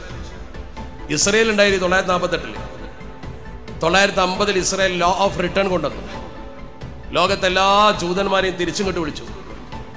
എന്നിട്ട് മുസ്ലിങ്ങളാണ് പുറത്താക്കി. മുസ്ലിങ്ങളെ പ്രദേശം കയ്യേറി ഒരു വലിയ മതിലാണ് കെട്ടി. വലിയ മതിൽ. ആണ് വെസ്റ്റ് ബാങ്കിലെ മതിൽ. ഒന്ന് ഇസ്രയേലിൽ പോയി നോക്ക് നിങ്ങൾ കണ്ട. ജബറാജിയോട് ഇപ്പോൾ ജബറാജ ദാ വീരരാജൊക്കെ ഉണ്ട്. അവരൊക്കെ എന്റെ കൂടെ പലസ്തീൻ സന്ദർശിച്ച ആൾക്കാരാണ് അവരൊക്കെ കണ്ടതാ ശരിക്കാ മതിൽ. സങ്കടമാണത് അത് അവർ ചെയ്തത് ലോകത്തുള്ള ജൂതന്മാർ അങ്ങോട്ട് തിരിച്ചു വിളിച്ചു ബാക്കിയുള്ളവരെ പുറത്താക്കി. ഹംഗറിയിലും റൊമേനിയയിലും ഒക്കെ ഇറ്റലിയിലും ഒക്കെ നടന്ന ഇറ്റലിയിൽ ശരിക്ക് മാനിഫെസ്റ്റോ ഓഫ് റേസ് എന്നാണ് വർഗ നിയമം. ഈ വർഗീയ നിയമം തന്നെയാണ് ഇവിടെ കൂടെ ഇത് വന്നാൽ എന്ത് സംഭവിക്കുന്നു ചോദിച്ചാൽ ഇപ്പൊ നമ്മുടെ കേരളത്തിലൊരു എൻ ആർ സി നടപ്പാക്കാൻ ഭാവിയിൽ തീരുമാനിച്ചു എന്ന് വിചാരിക്കാം ഭാവിയിൽ തീരുമാനിച്ചു. ഇതേ നിബന്ധന വെച്ചാണ് എൻ ആർ സി കൊണ്ടുവരുന്നതെങ്കിൽ നമ്മുടെ രാജ്യത്ത് ഈ പട്ടിക തയ്യാറാക്കുമ്പോൾ കേരളത്തിന്റെ ഒരു പട്ടിക തയ്യാറാക്കുക അതിനവർ പറയും നമ്മൾ ചോദിക്കുന്നുണ്ട് എന്തിനാ കൂട്ടരെ കേരളത്തിലെ എൻ ആർ സി കേരളത്തിൽ ഇവിടെ നുഴഞ്ഞേറ്റക്കാരൻ? ഏതെങ്കിലും ഒരാൾ ഇവിടെ നുഴഞ്ഞേറാൻ വന്നിട്ടുണ്ടോ എന്ന് ചോദിക്കും. അതിന് ഇവർ പറയുന്നത് എന്താ അറിയോ ഇവർ പറയുന്ന മറുപടി എന്താ നമ്മുടെ സംസ്ഥാനം വേറെ സംസ്ഥാനത്ത് വണ്ടി കയറി പോകുന്നൂടെ? ഒരു കാറിലോ ഒരു ട്രെയിനിലോ ഫ്ലൈറ്റിലോ വേണമെങ്കിൽ ബോംബെന്നോ ഡൽഹിന്നോ കാശ്മീരിൽ നിന്നോ ഒരാൾക്ക് ഇവിടെ വരാലോ അവർ നുഴഞ്ഞേറ്റക്കാരൻ ഇവിടെ ഇല്ലാന്ന് എങ്ങനെ നിങ്ങൾ പറയാം? അവർ ന്യായമാണ് ഇന്നർ ലൈൻ പെർമിറ്റ് ഒന്നും ഇവിടെ ഇല്ലല്ലോ. ഇപ്പൊ ഇന്ത്യയിൽ ഇന്നർ ലൈൻ പെർമിറ്റ് ഉള്ള ചില സംസ്ഥാനമുണ്ട്. ഇപ്പോൾ ഒറീസ പോലെ. അവിടേക്കാണ് കടക്കണമെന്നുണ്ടെങ്കിൽ പ്രത്യേക പെർമിറ്റ് വേണം. ഇന്ത്യക്കാരൻ തന്നെ. ഏതുപോലെ തമിഴ്നാട്ടിലേക്ക് ഇവിടുന്ന് കിടക്കണമെങ്കിൽ പ്രത്യേക പെർമിറ്റ് വണ്ടിക്ക് വേണമെന്ന പോലെ മനുഷ്യന് പെർമിറ്റ് വേണം. അതിന് ഇന്റർലൈൻ പെർമിറ്റ് അത് ചില സംസ്ഥാനത്തുണ്ട്. അത് വേറെ അത് ഈ കൂട്ടി ചേർക്കണ്ട. പക്ഷേ നമ്മൾ മനസ്സിലാക്കേണ്ട ഒരു കാര്യം ഇവിടെ തൊഴിലിന് വന്ന കുറെ പാവങ്ങളുണ്ട് ബംഗാളികൾ. എന്നാ അവരിത് പരിശോധിച്ചോ? അങ്ങനെ നമ്മുടെ കേരളത്തിൽ പരിശോധിച്ച ഒരു പക്ഷേ നമ്മുടെ മക്കൾക്ക് ഈ ലിങ്ക് തെളിയിക്കാൻ പറ്റില്ല എന്ന് വിചാരിക്കാം അമൻമെന്റ് ബില്ല് അതായത് ഈ സി എ എ നിലനിൽക്കുന്ന സമയത്ത് നമ്മൾ പട്ടികയിൽ നിന്ന് അഥവാ പുറത്തായി പോയാൽ പിന്നെ നമുക്ക് പൗരത്വം ഉണ്ടാവില്ല പിന്നെ നമുക്ക് പൗരത്വം ഉണ്ടാവില്ല ആ മുസ്ലിങ്ങൾക്ക് പൗരത്വം ഉണ്ടാവും എന്താ കാരണം? അവൻ തൊള്ളായിരത്തി തൊണ്ണൂറ്റിനാല് എൺപത്തി എൺപത്തിനാല് മുമ്പ് ഇവിടെ ഉണ്ടെന്ന് പറഞ്ഞാൽ പോരെ. തൊണ്ണൂറ്റിനാല് മുമ്പ് ഇവിടെ ഉണ്ടെന്ന് പറഞ്ഞാൽ പോരെ. അഞ്ചൊല്ലം മുമ്പ് ഉണ്ടെന്ന് പറഞ്ഞാൽ മതി. അവൻ അഭയാർത്ഥിയാന്ന് പറഞ്ഞാൽ മതി പ്രശ്നം തോന്നി ഇതാ വ്യത്യാസം. അതുകൊണ്ട് തന്നെ ഈ നിയമം അപകടകരമാണ്. ഈ അപകടകരമായ നിയമത്തിനെതിരെ ശക്തമായ പ്രതിഷേധം ഇന്ത്യയിൽ അലയടിക്കുന്നു. ഒരു കാര്യം മാത്രം നമ്മൾ ശ്രദ്ധിച്ചാൽ മതി. ഈ പ്രതിഷേധം തുടരണം. ഇരുപത്തിരണ്ടാം തീയതി നമ്മുടെ രാജ്യത്തെ കോടതി കേസ് എടുക്കുന്നുണ്ട് ഗവൺമെന്റിന് സ്വരംമാറ്റം വന്നിട്ടുണ്ട്. വലിയ വീമ്പ് പറഞ്ഞിരുന്ന ആഭ്യന്തരമന്ത്രി ഇപ്പൊ കാര്യമായിട്ടൊന്നും പറയുന്നില്ല. മുസ്ലിങ്ങൾ പേടിക്കണ്ട പേടിക്കണ്ട പേടി എന്ന് പറയുന്നത് ഞങ്ങൾ അജണ്ടയിൽ ഇല്ല പക്ഷെ ക്രൂരമായ നിയമം കൊണ്ടുവരുമ്പോൾ അതിനെതിരെ പ്രതികരിക്കും. അതിന് പേടിയല്ല. നമ്മുടെ രേഖകളൊക്കെ ശരിപ്പെടുത്തി വെച്ചോളൂ. അതിനെന്താ കുഴപ്പം? നമ്മുടെ കയ്യിലുള്ള കുഴപ്പം എന്താ വെച്ചാൽ ആധാറും പാസ്പോർട്ടും അതുപോലെ തന്നെ നമ്മുടെ പാൻ കാർഡും ഇതൊക്കെ നാലെണ്ണത്തിൽ നാല് പേരായിരിക്കും ചിലപ്പോൾ അതൊക്കെ ഒന്ന് മാറ്റി തിരുത്തി നിൽക്കുന്ന അത് അല്ലെങ്കിൽ അത് മോഡിയെ പഠിച്ചിട്ടോ അല്ലെങ്കിൽ ഇതിനെ പഠിച്ചിട്ടോ അത് ശരിയാക്കി വെക്കൽ എപ്പോഴും നല്ലതാണ്. അതെല്ലാത്തിലും ഒരു നല്ല കാര്യമാണ്. അത് നമ്മൾ ചെയ്യുന്നതിന് ആവശ്യമായ എല്ലാ സംവിധാനങ്ങളും നമ്മൾ ഉണ്ടാക്കി തീർക്കണം. എന്നാൽ ഈ നിയമത്തിനെതിരെ നമ്മൾ ഒറ്റക്കെട്ടായി സമരം ചെയ്യുമ്പോൾ ശ്രദ്ധിക്കേണ്ടത് ഞാൻ തുടക്കത്തിൽ പറഞ്ഞ പോലെ ഒരാളെയും നമ്മൾ ദ്രോഹിക്കാൻ പാടില്ല. എന്ന് പറഞ്ഞാൽ ഒരാൾക്ക് വേദന ഉണ്ടാക്കുന്നൊരു മുദ്രാവാക്യം വിളിക്കരുത് നിങ്ങൾ. ഒരാൾക്ക് വിഷമുണ്ടാക്കുന്നൊരു മുദ്രാവാക്യം വിളിക്കരുത്. നമ്മൾ ഈ രാജ്യത്തെ പൗരന്മാരാണെന്ന് മാത്രമല്ല ഈ രാജ്യത്ത് മറ്റുള്ളവരെ പോലെ ജീവിക്കാൻ അർഹത എന്തുകൊണ്ടുള്ള ആൾക്കാരാണ് ഇന്ന് ഇന്ത്യ മഹാരാജ്യത്ത് ദേശീയത്വം എന്ന് പറഞ്ഞ് ബഹളം വെക്കുന്ന ആൾക്കാരുണ്ടല്ലോ. അവർ നമ്മുടെ തലയിൽ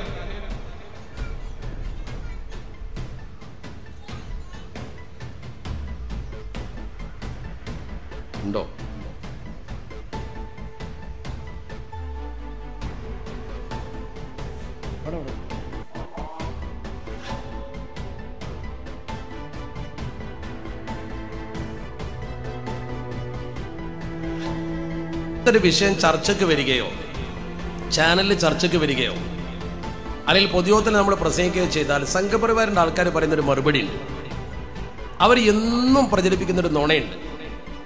ഒരു പരിധി വരെ നമ്മൾ ആൾക്കാരിൽ വീണു പോയിട്ടുണ്ടെന്ന് ഞാൻ തോന്നുന്നത്.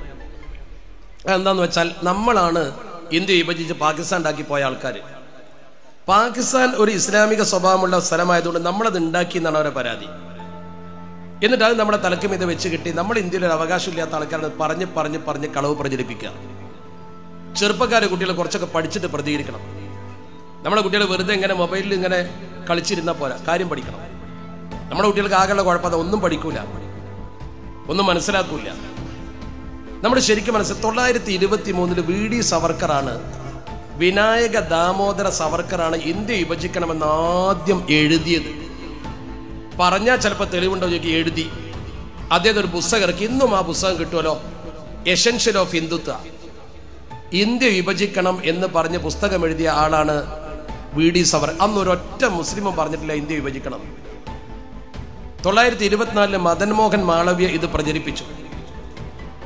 തൊള്ളായിരത്തി ഇരുപത്തി അഞ്ചിൽ ലാല ലജ്പത് റായ് അത് ഏറ്റെടുത്തു. അങ്ങനെ തൊള്ളായിരത്തി ഇരുപത്തി അഞ്ചിൽ ആർ എസ് എസ് എന്ന സംഘടന ഉണ്ടാക്കി ഇന്ത്യ വിഭജിക്കണം ഇന്ത്യ ഹിന്ദു രാജ്യമാണ് എന്ന് പ്രഖ്യാപിച്ച സംഘടനയാണ് ആർ എസ് എസ്. തൊള്ളായിരത്തി ഇരുപത്തഞ്ച് മുതൽ ഈ രണ്ടായിരം വരെ അവർ പറഞ്ഞുകൊണ്ടിരിക്കുന്നത് എന്താ? ഇന്ത്യ വിഭജിച്ചത് മുസ്ലിങ്ങളാണ്. ഇന്ത്യ ഹിന്ദു രാജ്യമാണ് പാകിസ്ഥാൻ മുസ്ലിം രാജ്യമാണെന്ന് അവർ പറയുന്നത്. നെഹ്റു ഇന്ത്യ വിഭജിച്ച് ഇന്ത്യ മഹാരാജ്യത്തെ ഒരു ഭരണകൂടം ഉണ്ടാക്കുമ്പോൾ നെഹ്റു പറഞ്ഞു ഇന്ത്യ ഒരിക്കലും ഒരു മതരാജ്യമല്ല. ഇന്ത്യ മതേതര രാജ്യമാണ്. ഇന്ത്യ മതേതര രാജ്യമാണ് നെഹ്റു പറഞ്ഞു. അത് പറഞ്ഞ ഉടനെ ആ പ്രഖ്യാപനം വന്ന ഉടനെ കോൺസ്റ്റിറ്റ്യൂന്റ് അസംബ്ലിയിൽ നെഹ്റു പറഞ്ഞു ഇന്ത്യ മതേതര രാജ്യമാണ്. അപ്പൊ തന്നെ വി ഡി സവർക്കർ പറഞ്ഞെന്താ? സവർക്കർ പറഞ്ഞൊരു മറുപടി ഉണ്ട്. സ്യൂഡോ സെക്യുലറിസം എന്നാണ്. സ്യൂഡോ കളവ് കള്ള മതേതരത്വം. ഇന്ത്യയുടെ മതേതരത്വത്തെ കള്ള മതേതരത്വം എന്ന് വിളിച്ച ആൾക്കാരാണ് അവർ. അങ്ങനെ അവർ ആ മതേതരത്വത്തിൽ ഇന്നും വിശ്വസിക്കുന്നില്ല. ആ വിശ്വസിക്കാത്ത ജനസമൂഹമാണ് തൊള്ളായിരത്തി ഇരുപത്തി അഞ്ചിൽ ഇവരിത് പറഞ്ഞ് പിന്നെയും പതിനാറ് കൊല്ലം കഴിഞ്ഞിട്ടാണ് ജിന്ന പറഞ്ഞത് ഇന്ത്യ വിഭജിക്കേണ്ടി വരും അത് വിഭജനത്തിലേക്ക് ഇന്ത്യയെ എത്തിച്ചപ്പോ പറഞ്ഞതാണ്. ഞാൻ ജിന്നയെ ന്യായീകരിക്കല്ല. കമ്മ്യൂണിസ്റ്റ് നേതാവായ എം എൻ റോയ് മുസ്ലിങ്ങൾക്ക് ചരിത്രപരമായ കാരണമുണ്ട് വിഭജനത്തിന് എന്ന് എഴുതിയിട്ടുണ്ട്. ആ കാരണം അദ്ദേഹം സമർത്ഥിച്ചിട്ടുണ്ട്. മുസ്ലിങ്ങളല്ല വിഭജനത്തിന് കാരണം. ഇപ്പോഴും അവർ ഇന്ത്യയിൽ ചെയ്ത പണി നോക്ക് നിങ്ങൾ. ടെസ്റ്റ് ഡോസ് കൊടുത്തു. ഗർവാപ്പസി കൊണ്ടത് പശുവിന്റെ പേരിൽ തല്ലിക്കൊല്ലാൻ തുടങ്ങി. ആൾക്കൂട്ട കൊലപാതകം ഉണ്ടാക്കി. പ്രതികരിക്കുന്ന സാഹിത്യകാരന്മാരെ ഒതുക്കി. വിവാഹ പ്രായപരിധി നിയമം കൊണ്ടുവന്ന് പീഡിപ്പിച്ചു. മുത്തലാഖ് കൊണ്ടുവന്ന് സിവിൽ ക്രിമിനലാക്കി. ബാബരി പള്ളി നമുക്ക് അവകാശപ്പെട്ടതാണ്. അത് അപ്പാടെ മറ്റുള്ളവർക്ക് കൊടുത്തു അപ്പോഴൊക്കെ നമ്മൾ ക്ഷമിച്ചു.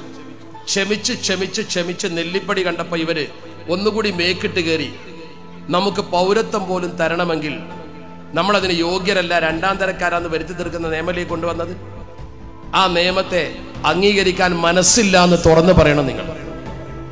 അവിടെ നമ്മൾ ചിന്തിക്കേണ്ടത്. കാരണം നമ്മുടെ രാജ്യത്തിന്റെ അവസ്ഥ ഞാൻ എപ്പോഴും പറയാറുണ്ട്. ആയിരത്തി നാനൂറ്റി തൊണ്ണൂറ്റെട്ടിൽ വാസ്കോഡിഗാമ കോഴിക്കോട്ട് വന്നിട്ട് പോർട്ടുഗീസുകാർ ആധിപത്യം സ്ഥാപിച്ചപ്പോൾ മഹദൂം ഒന്നാമനും മഹദൂം രണ്ടാമനുമാണ് അവരെ പുറത്താക്കണം എന്ന് എഴുതിയത്. ബ്രിട്ടീഷുകാർ വന്നപ്പോൾ മമ്പറത്ത് തങ്ങളാണ് സെയ്ഫുൽ ബത്താർ എഴുതിയിട്ട് പുറത്താക്കണം അവരെ എന്ന് പറഞ്ഞത്. മമ്പറത്ത് തങ്ങളുടെ മകനാണ് ഉദ്ദത്തുൽ ഉമറായി വല്ലുക്കാം എന്ന ഗ്രന്ഥം എഴുതിയിട്ട് ബ്രിട്ടീഷുകാരെ പുറത്താക്കണം എന്ന് പറഞ്ഞത്. ഈ കാലൊക്കെ ഒന്ന് നിങ്ങൾ അക്കാലഘട്ടത്തിൽ ഈ പറഞ്ഞ വിഭാഗം സംഘപരിവാറിന്റെ പ്രതിനിധികൾ ആരെങ്കിലും ഈ വിദേശികളെ ഇന്ത്യയിൽ നിന്ന് പായിക്കണമെന്ന് പറഞ്ഞ് എവിടെയെങ്കിലും എഴുതി വെച്ച ഒരു തുണ്ട് കടലാസിന്റെ കഷ്ണം കാണിക്കാൻ പറ്റുമോ നിങ്ങൾക്ക്? ഉണ്ടെങ്കിൽ പറ. ഞങ്ങളുടെ പാരമ്പര്യമാണ് ഞങ്ങളുടെ പൗരത്വം. തറവാടിത്തമാണ് പൗരത്വം. അതിന്റെ അപ്പുറം ഒരു കടലാസും ഇല്ല അതന്നെ പൗരത്വം. ഞങ്ങളുടെ പൂർവികന്മാർ ഈ രാജ്യത്തിന് വേണ്ടി ബ്രിട്ടീഷുകാരെ കരകടത്താൻ പുസ്തകം എഴുതിയ മഹാന്മാരാണ് ആയിരത്തി എണ്ണൂറ്റി പത്തൊമ്പതിൽ ഉമർ ഖാദി നികുതി നിഷേധ പ്രസ്ഥാനം നടത്തിയിട്ടാണ് ഡിസംബർ പതിനെട്ടിന് കോഴിക്കോട്ട് ജയിലിൽ പോയത്. ആ ഉമർ ഖാദി ഈ സമരം ചെയ്ത് അറുപത്തിനാല് കൊല്ലം കഴിഞ്ഞിട്ട് ആയിരത്തി എണ്ണൂറ്റി എൺപത്തി മൂന്നിലാണ് സവർക്കർ ജനിക്കുന്നത്. ആ ഉമർ ഖാദി ജയിലിൽ പോയി അൻപത് കൊല്ലം കഴിഞ്ഞിട്ടാണ് ഗാന്ധിജി ജനിക്കുന്നത്. ആ തറവാടിത്തത്തെ ചോദ്യം ചെയ്യാനൊന്നും ആർക്കും കഴിയില്ല. ഗാന്ധിജിയെ നെഹ്റുവിനെയും നിങ്ങൾ ടാർഗറ്റ് ചെയ്തു എന്തിന്? മതേതര രാജ്യമാക്കിയതിന്. ഗാന്ധിജി ജനങ്ങൾക്കിടയിലായതുകൊണ്ട് കൊന്നു നെഹ്റുവിനെ കൊല്ലാൻ കിട്ടിയില്ല. ഇതല്ലേ സത്യം? കപൂർ കമ്മീഷൻ പറഞ്ഞിട്ടുണ്ടത്. കപൂർ കമ്മീഷൻ റിപ്പോർട്ടിൽ ഇവർ ചിലർ പ്രതിയാണ് അതുകൊണ്ട് ഒറ്റ കാര്യം എനിക്ക് പറയാനുള്ള അവസാനമായി.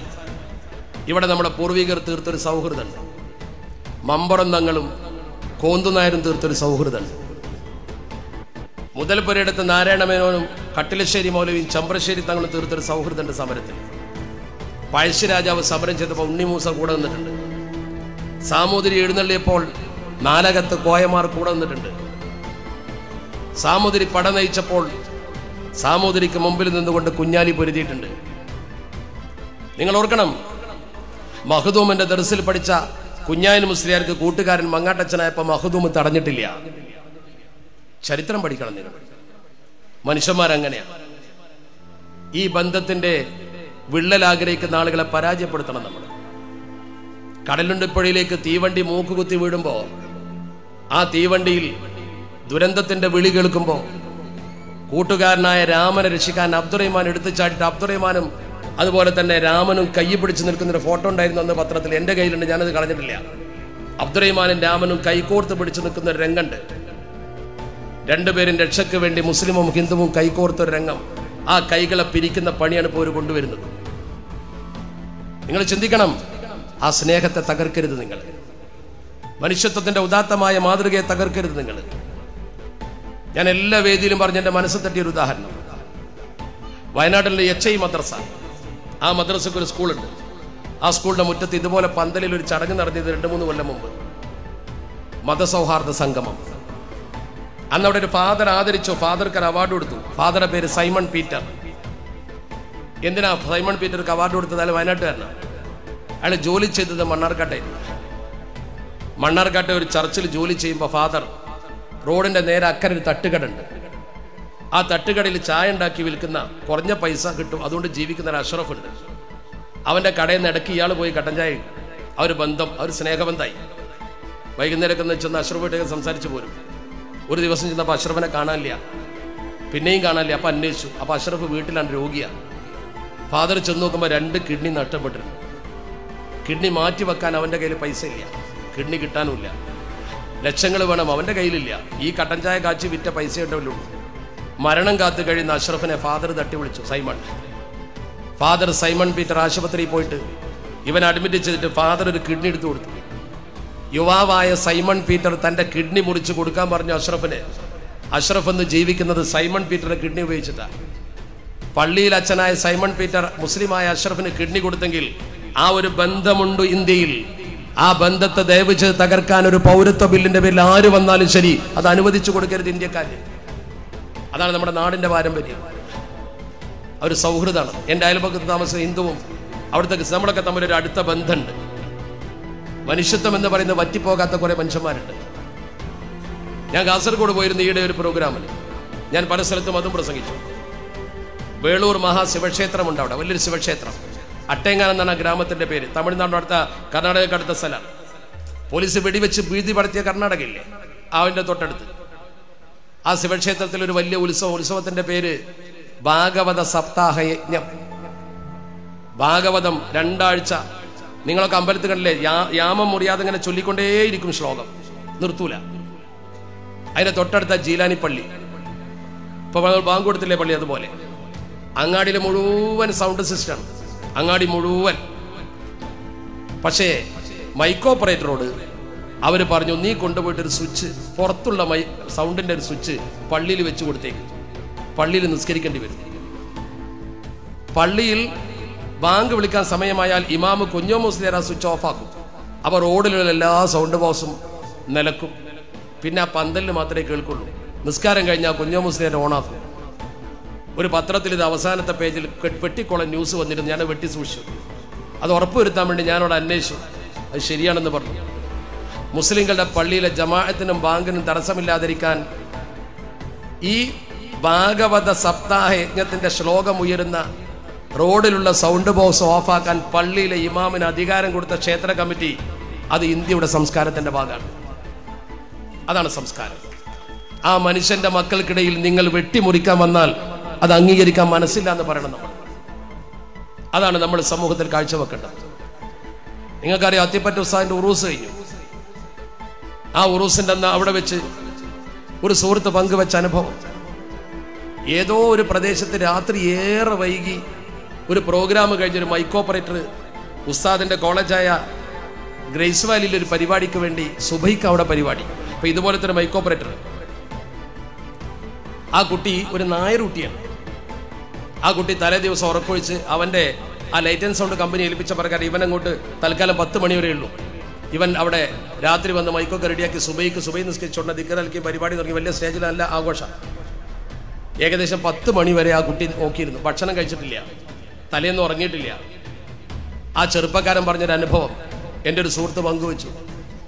ദിക്ര കളിക്കും പരിപാടി ആകിന്റെ ആ വാർഷികമൊക്കെ കഴിഞ്ഞ് രാവിലെ സമയം പത്ത് മണിക്ക് പരിപാടി അവസാനിച്ച് എല്ലാവരും ഇറങ്ങണം ഇറങ്ങുന്ന സമയത്ത് എല്ലാവരും അവസാനം ഇറങ്ങിയത് അത്തിപ്പറ്റ ഉസ്താദാണ് അത്രേ. അത്തിപ്പറ്റ ഉസ്താദ് ഇറങ്ങുമ്പോൾ മൈക്കോപ്പറേറ്റർ നോക്കി അവന്റെ മുഖം പറ്റ വാടിയിട്ടുണ്ട്. തല ദിവസത്തെ ഉറക്കും ഭക്ഷണം കഴിക്കായ്മയും നിങ്ങൾ ഓർക്കണം ആ കുട്ടിയെ പോയി ബഹുമാനപ്പെട്ട അത്തിപ്പറ്റ ഉസ്താദ് ചേർത്ത് പിടിച്ചു. ആ കുട്ടിയെ അത്തിപ്പറ്റ ഉസ്താദ് ചേർത്ത് പിടിച്ചുകൊണ്ട് മനോഹരമായി ആ കുട്ടിയുടെ ശരീരം ഒന്നിങ്ങനെ ആലിംഗനം ചെയ്തിട്ട് ചോദിച്ചത്ര മോനെ നീ ഭക്ഷണം കഴിച്ചോ? ജയചന്ദ്രൻ നായർ എന്നാണ് ആ കുട്ടീന്റെ പേര്. ആ നായരുട്ടി പറയാണ് നല്ല തൂവള്ള വസ്ത്രം ധരിച്ച ഉസ്താദിന്റെ ചളിയായ വസ്ത്രം വിയർപ്പുള്ള വസ്ത്രം തലേന്നിട്ട് അതേ വസ്ത്രം അതിങ്ങനെ ചേർത്ത് പിടിച്ചപ്പോ എനിക്കൊരു വല്ലാത്ത സങ്കടവും അതിലേറെ സന്തോഷവും തോന്നി. ആ കൂടി എന്റെ എല്ലാ വിശപ്പും തീർന്നു. ഒരാളും എന്നോട് ചോദിച്ചിട്ടില്ല നീ ഭക്ഷണം കഴിച്ചോ? ഉസ്താദ് ചോദിച്ചു എന്നോട് ഭക്ഷണം കഴിച്ചോ? എന്നെ കൈ പിടിച്ചു കൊണ്ടുപോയി ഭക്ഷണം കഴിപ്പിച്ച ആ ഉസ്താദിനെ എനിക്ക് മറക്കാൻ കഴിയില്ല. അതാണടോ മനുഷ്യത്വം. വിശപ്പിന് നായരും നമ്പൂതിരിയും ഇല്ലടോ. അത് പഠിക്ക്. അതാണ് മനുഷ്യത്വം. ആ മനുഷ്യന്മാർ ജീവിക്കുന്നുണ്ട് ഗുജറാത്തിൽ. അവർ ജീവിക്കുന്നുണ്ട് ആസാമിൽ. അവരുണ്ട് കേരളത്തിൽ. ദയവ് ചെയ്ത് അതിന്റെ ഇടയ്ക്ക് നിങ്ങൾ ഒരു വിഭാഗീയത കൊണ്ടുവരല്ലേ. നല്ല മനുഷ്യന്മാരുണ്ട് ഇവിടെ. ബി ജെ പിക്കാർക്ക് പോലും ഇതിനോട് എതിർപ്പുണ്ട്. നിങ്ങൾ എന്തിനാ രാജ്യത്തെ മനുഷ്യന്റെ മനസ്സിനെ വെട്ടിമുറിച്ച് ഭരിക്കാൻ നടക്കുന്നത്? ഇതൊരു വല്ലാത്ത സങ്കടമുള്ള കാര്യമാണല്ലോ. നടുവണ്ണൂർ എന്ന് പറഞ്ഞ സ്ഥലമുണ്ട്. ഇന്ന് വന്നാൽ ഞാൻ അവിടുത്തെ ആൾക്കാരെ കണ്ട് നിങ്ങൾക്ക് പരിചയപ്പെടുത്തി തരാം. ഞാൻ പലപ്പോഴും കണ്ടതാ പോയതാ. കോഴിക്കോട് ജില്ലയിൽ ഉള്ളിയരിക്ക് പോകുമ്പോൾ നടുവണ്ണൂർ എന്ന് പറഞ്ഞ സ്ഥലമുണ്ട്. ആ ഗ്രാമത്തിൽ നാൽപ്പത് കൊല്ലം അവിടെ ഇമാമും ഖത്തീബും മദ്രസയിലെ മൊല്യവുമായി ജീവിച്ചൊരു കുഞ്ഞീത് മുസ്ലിമിന്റെ മരിച്ചുപോയി. അള്ളാഹു മാഫറത്ത് കൊടുക്കട്ടെ. അദ്ദേഹം പളാഞ്ചേരിക്കാരനാണ് എനിക്ക് അടുത്ത് പരിചയമുള്ള കുഞ്ഞീത് മുസ്ലിം. ചെറുപ്പത്തിൽ അവിടെ കിതാബ് ഓതാൻ ചെന്ന ആളാണ് പിന്നെ അവിടെ മൊല്യമായി പള്ളിയിലെ ഇമാമായി അവരെ കാതിയായി മരിച്ചുപോയി. ഈ കുഞ്ഞീത് മുസ്ലിയാർ നാൽപ്പത് കൊല്ലം നാൽപ്പതല്ല അമ്പത് കൊല്ലം മൊത്തം ഓതിയ കാലം കൂട്ടിയാൽ ജോലി നാൽപ്പത് കൊല്ലം. അമ്പത് കൊല്ലം അവിടെ ജീവിച്ച കുഞ്ഞീത് മുസ്ലിയാർക്ക് നാട് പോലെ ഇരുന്നു. അവിടെ ഉണ്ടായിരുന്നു ഒരു ഓ എം ഗോവിന്ദൻകുട്ടി നായർ. ഗോവിന്ദൻകുട്ടി നായർ നല്ല മനുഷ്യനായിരുന്നു. ഞാൻ ഒരിക്കൽ അവിടെ ഹജ്ജ് ക്ലാസ്സിന് പോകുമ്പോൾ കുഞ്ഞീത് മുസ്ലിയാരുണ്ട് തൊട്ടപ്പുറത്ത് ഗോവിന്ദകുട്ടിയാരുണ്ട് ഗോവിന്ദകുട്ടി നായരോട് ഞാൻ തമാശക്ക് ചോദിച്ചു നായരെ ഹജ്ജ് ക്ലാസ്സിന് എന്തിനാ നായർ വന്നതെന്ന് ചോദിച്ചു തമാശക്ക്? നായർ പറഞ്ഞു ഇത് ദൈവികമായ ചടങ്ങാണ് ഇവിടെ ദൈവത്തിന്റെ അനുഗ്രഹം ഉണ്ടാവുമെന്ന് വിചാരിച്ചു അത് തേടി വന്നതാണെന്ന്. ഞാൻ ഒന്നും പറഞ്ഞില്ല. ആ ഗ്രാമത്തിൽ നിങ്ങൾ പോയി ചോദിച്ചു നോക്ക്. നമ്മുടെ സുഹൃത്തുക്കളുണ്ട് അവിടെ. നടുവനൂർ പോയി ചോദിച്ചു നോക്ക്. നടുവനൂർ പള്ളിയുടെ അടുത്ത്. വൈകുന്നേരം ഏതാണ്ട് ഈ സമയമായാൽ ജമാഅത്ത് കഴിയുന്ന സമയം നോക്കി ഗോവിന്ദൻകുട്ടി നായരിങ്ങനെ വന്ന് നിൽക്കും. ജമാഅത്തിന് ഇമാമത്ത് നിന്ന് സലാം വെട്ടി ദ്വാരത്തിന്റെ കുഞ്ഞു മുസ്ലിയാർ ചെരുപ്പിട്ടുണ്ട് ഇറങ്ങി വന്നാൽ രണ്ടുപേരും കൈ പിടിച്ചിട്ട് അങ്ങാടി കൂടി നടത്തുന്നുണ്ട് മങ്ങാട്ടച്ചനെയും കുഞ്ഞായി മുസ്ലിയാരും പോലെ. അത് കണ്ട് വടന്നവരാ നടുവണ്ണൂർക്കാർ പുലിപ്പാടാകലയാ ഒരു മല്യമാണത് ഗോവിന്ദൻ നായർ മാസത്തിൽ ഒരു ദിവസം ഗുരുവായൂർ പോകും. തൊഴാൻ പോകും അന്നാണ് കുഞ്ഞീത് മുസ്ലിം വീട്ടിൽ പോകൽ ഗോവിന്ദൻകുട്ടി നായർ സമ്പന്നനാവും. അദ്ദേഹത്തിന്റെ കാറിൽ കയറിയിട്ട് വളാഞ്ചേരിയിൽ ഇറക്കി കൊടുക്കും വീട്ടിക്ക്. ഗോവിന്ദൻകുട്ടി നായർ ഗുരുവായൂർ പോയി തിരിച്ചു വരുമ്പോൾ അതേ കാറിൽ കുഞ്ഞുകുട്ടി മുസ്ലിം ഇങ്ങോട്ട് പോരും ചെയ്യും. നിങ്ങൾ ചിന്തിക്കണം. ഞാൻ ഈ പറഞ്ഞ സത്യം നിങ്ങൾ അവിടെ പോയി അന്വേഷിച്ച അവിടുത്തെ ഓരോ ചെറിയ കുട്ടിയും വലിയ തല നിറച്ച കാരണവന്മാരും പറഞ്ഞ അമ്പത് കൊല്ലത്തെ അനുഭവം ഉണ്ട് അവർക്ക്. ആ ഗോവിന്ദൻകുട്ടി നായരും കുഞ്ഞീത് മുസ്ലിയാരും തീർത്ത ആ സൗഹൃദത്തിന്റെ അടുക്ക് ഈ കാളകൂട വിഷം വമിപ്പിച്ച് ഇന്ത്യയെ വെട്ടിമുറിക്കാമെന്നാൽ അനുവദിക്കൂല എന്ന് പറയണം. അതാ കടമ ഇന്നത്തെ കടമ. ആ കടമ നിർവഹിക്കേണ്ടവർ നമ്മളാ. അതിനാണും പെണ്ണും ഒന്നും വ്യത്യാസമില്ല. നമുക്കൂടെ ഒരുമിച്ച് ജീവിക്കണം. ഒരുമിച്ച് ഇവിടെ മരിക്കണം. മുസ്ലിമോ മുസ്ലിമായും ഹിന്ദു ഹിന്ദുവായും തന്നെ മുന്നോട്ട് പോകും. ഒരു രാഷ്ട്രീയക്കാരനും അത് അടിയറ വെക്കേണ്ട നിങ്ങൾ അതിന് നമുക്ക് നമ്മുടെ രാഷ്ട്രീയത്തെ മുസ്ലിം രാഷ്ട്രീയത്തെ എന്ന് പറഞ്ഞാൽ ന്യൂനപക്ഷ രാഷ്ട്രീയത്തെ ശക്തിപ്പെടുത്തണം. മുസ്ലിം ലീഗ് വൈത്തുറഹമ കൊടുത്തപ്പോ ഹിന്ദുവാണെന്ന് എഴുതി കൊടുക്കാതിരുന്നിട്ടില്ല. ചടയനെ പൊക്കിക്കൊണ്ടുവന്ന സി എച്ചിന്റെ പാരമ്പര്യം നമുക്കുള്ളത്. മുസ്ലിം ലീഗിനെ കുറിച്ച് പലരും പറഞ്ഞു ഒരു വർഗീയതയും ഇല്ലാത്ത പാർട്ടി. ഇന്ത്യ മഹാരാജ്യത്ത് ഒരു വർഗീയതയും കാണിക്കാതെ മതബോധത്തോടു കൂടി ജീവിക്കുന്ന ഒരു കൗമാകണം നമ്മൾ. അവസാനമായി ഒറ്റക്കാരോടി പറയട്ടെ. മുസ്ലിം ലീഗ് നിലനിൽക്കണമെങ്കിൽ ഉമ്മമാരൊക്കെ കുട്ടികളെ കൊണ്ട് കൃത്യമായി നിസ്കരിപ്പിക്കണം. സുബൈ നിസ്കരിക്കാതെ രാവിലെ ഒരു മൃഗത്തെ പോലെ എഴുന്നേറ്റ് പോന്നാൽ ലീഗ് ഉണ്ടാവില്ല. കൊടി പിടിച്ച് സമരം ചെയ്താൽ മാത്രം ലീഗ് ഉണ്ടാവില്ല. മര്യാദയ്ക്ക് മക്കളെ സുബൈ നിസ്കരിപ്പിക്കണം ഖുർആൻ ഓദിക്കണം വീടിൽ ഇസ്ലാമിക ബോധം വേണം. ഫിറാവുന്റെ താണ്ഡവത്തിൽ നിന്നും ഇസ്രയേലികളെ രക്ഷിക്കാൻ അള്ളാഹു കൊടുത്ത മരുന്നതാ.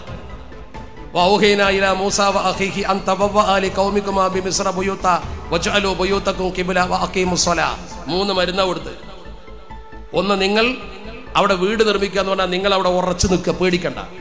വജഅലു ഉപയൂത്തക്കും കിബില നിങ്ങളെ വീട് കിബിലയൊക്കെ തന്നെ പരസ്പരം യോജിച്ചിട്ട് ഒരുമയോടുകൂടി ഇസ്ലാമിക ബോധത്തോടെ ജീവിക്കുക. നിസ്കാരം നിലനിർത്തുക. എന്ന് പറഞ്ഞാൽ എന്താ? ഒരുമയും ഐക്യവും ശുദ്ധിയും. നിസ്കരിക്കാതെ ഒന്നും പാർട്ടി ഉണ്ടാക്കിയിട്ട് കാര്യമില്ല. നിങ്ങൾ ഇന്ത്യയിലെ മുസ്ലിങ്ങൾ പഠിക്കേണ്ട പാഠം ജനം മുഴുവൻ ഭീതിയിൽ നിൽക്കുമ്പോൾ പേടിക്കല്ല. നിങ്ങൾ ജനങ്ങൾക്ക് ശാന്തി കൊടുക്കുക മുസ്ലിം ലീഗിന്റെ യൂണിറ്റ് പറ അങ്ങനെ ഒരു നികുതി അങ്ങനെ ഒരു രേഖ തയ്യാറാക്കേണ്ടി വന്നാൽ ഞങ്ങളെ പാർട്ടി ഓഫീസിൽ നിന്ന് തയ്യാറാക്കി തരും. നിങ്ങൾ പേടിക്കണ്ടെന്ന് പറയും. നിങ്ങളെ തയ്യാറാക്കി കൊടുക്കാൻ യുവാക്കളുണ്ട് ഇവിടെ എന്ന് പറ. അതുപോലെ തന്നെ മദ്യപാനിയും തമ്മാടിയും വ്യഭിചാരിയുമായി നമ്മുടെ മക്കൾ പോകുന്നതിലവിടെ തടഞ്ഞു നിർത്ത്. ദീം പഠിപ്പിച്ചു കൊടുക്കുക ഇത് രണ്ടും ഒന്ന് തന്നെയാണ്. ഇസ്ലാമിക ബോധം പകർന്നു കൊടുക്കുക നമ്മുടെ സമൂഹത്തിന് കരുത്ത് പകര്. വഴിമാറി പോകുന്ന യുവാക്കളെ ഒരു കാര്യം കൂടി പറയട്ടെ. തീവ്രതയിലേക്ക് ചാടണ്ട എന്ന് നമ്മൾ എപ്പോഴും പറയാൻ കാരണത ഇങ്ങനത്തെ ഒരു പ്രശ്നം വരുമ്പോൾ എല്ലാവരും വേണ്ടി വരും.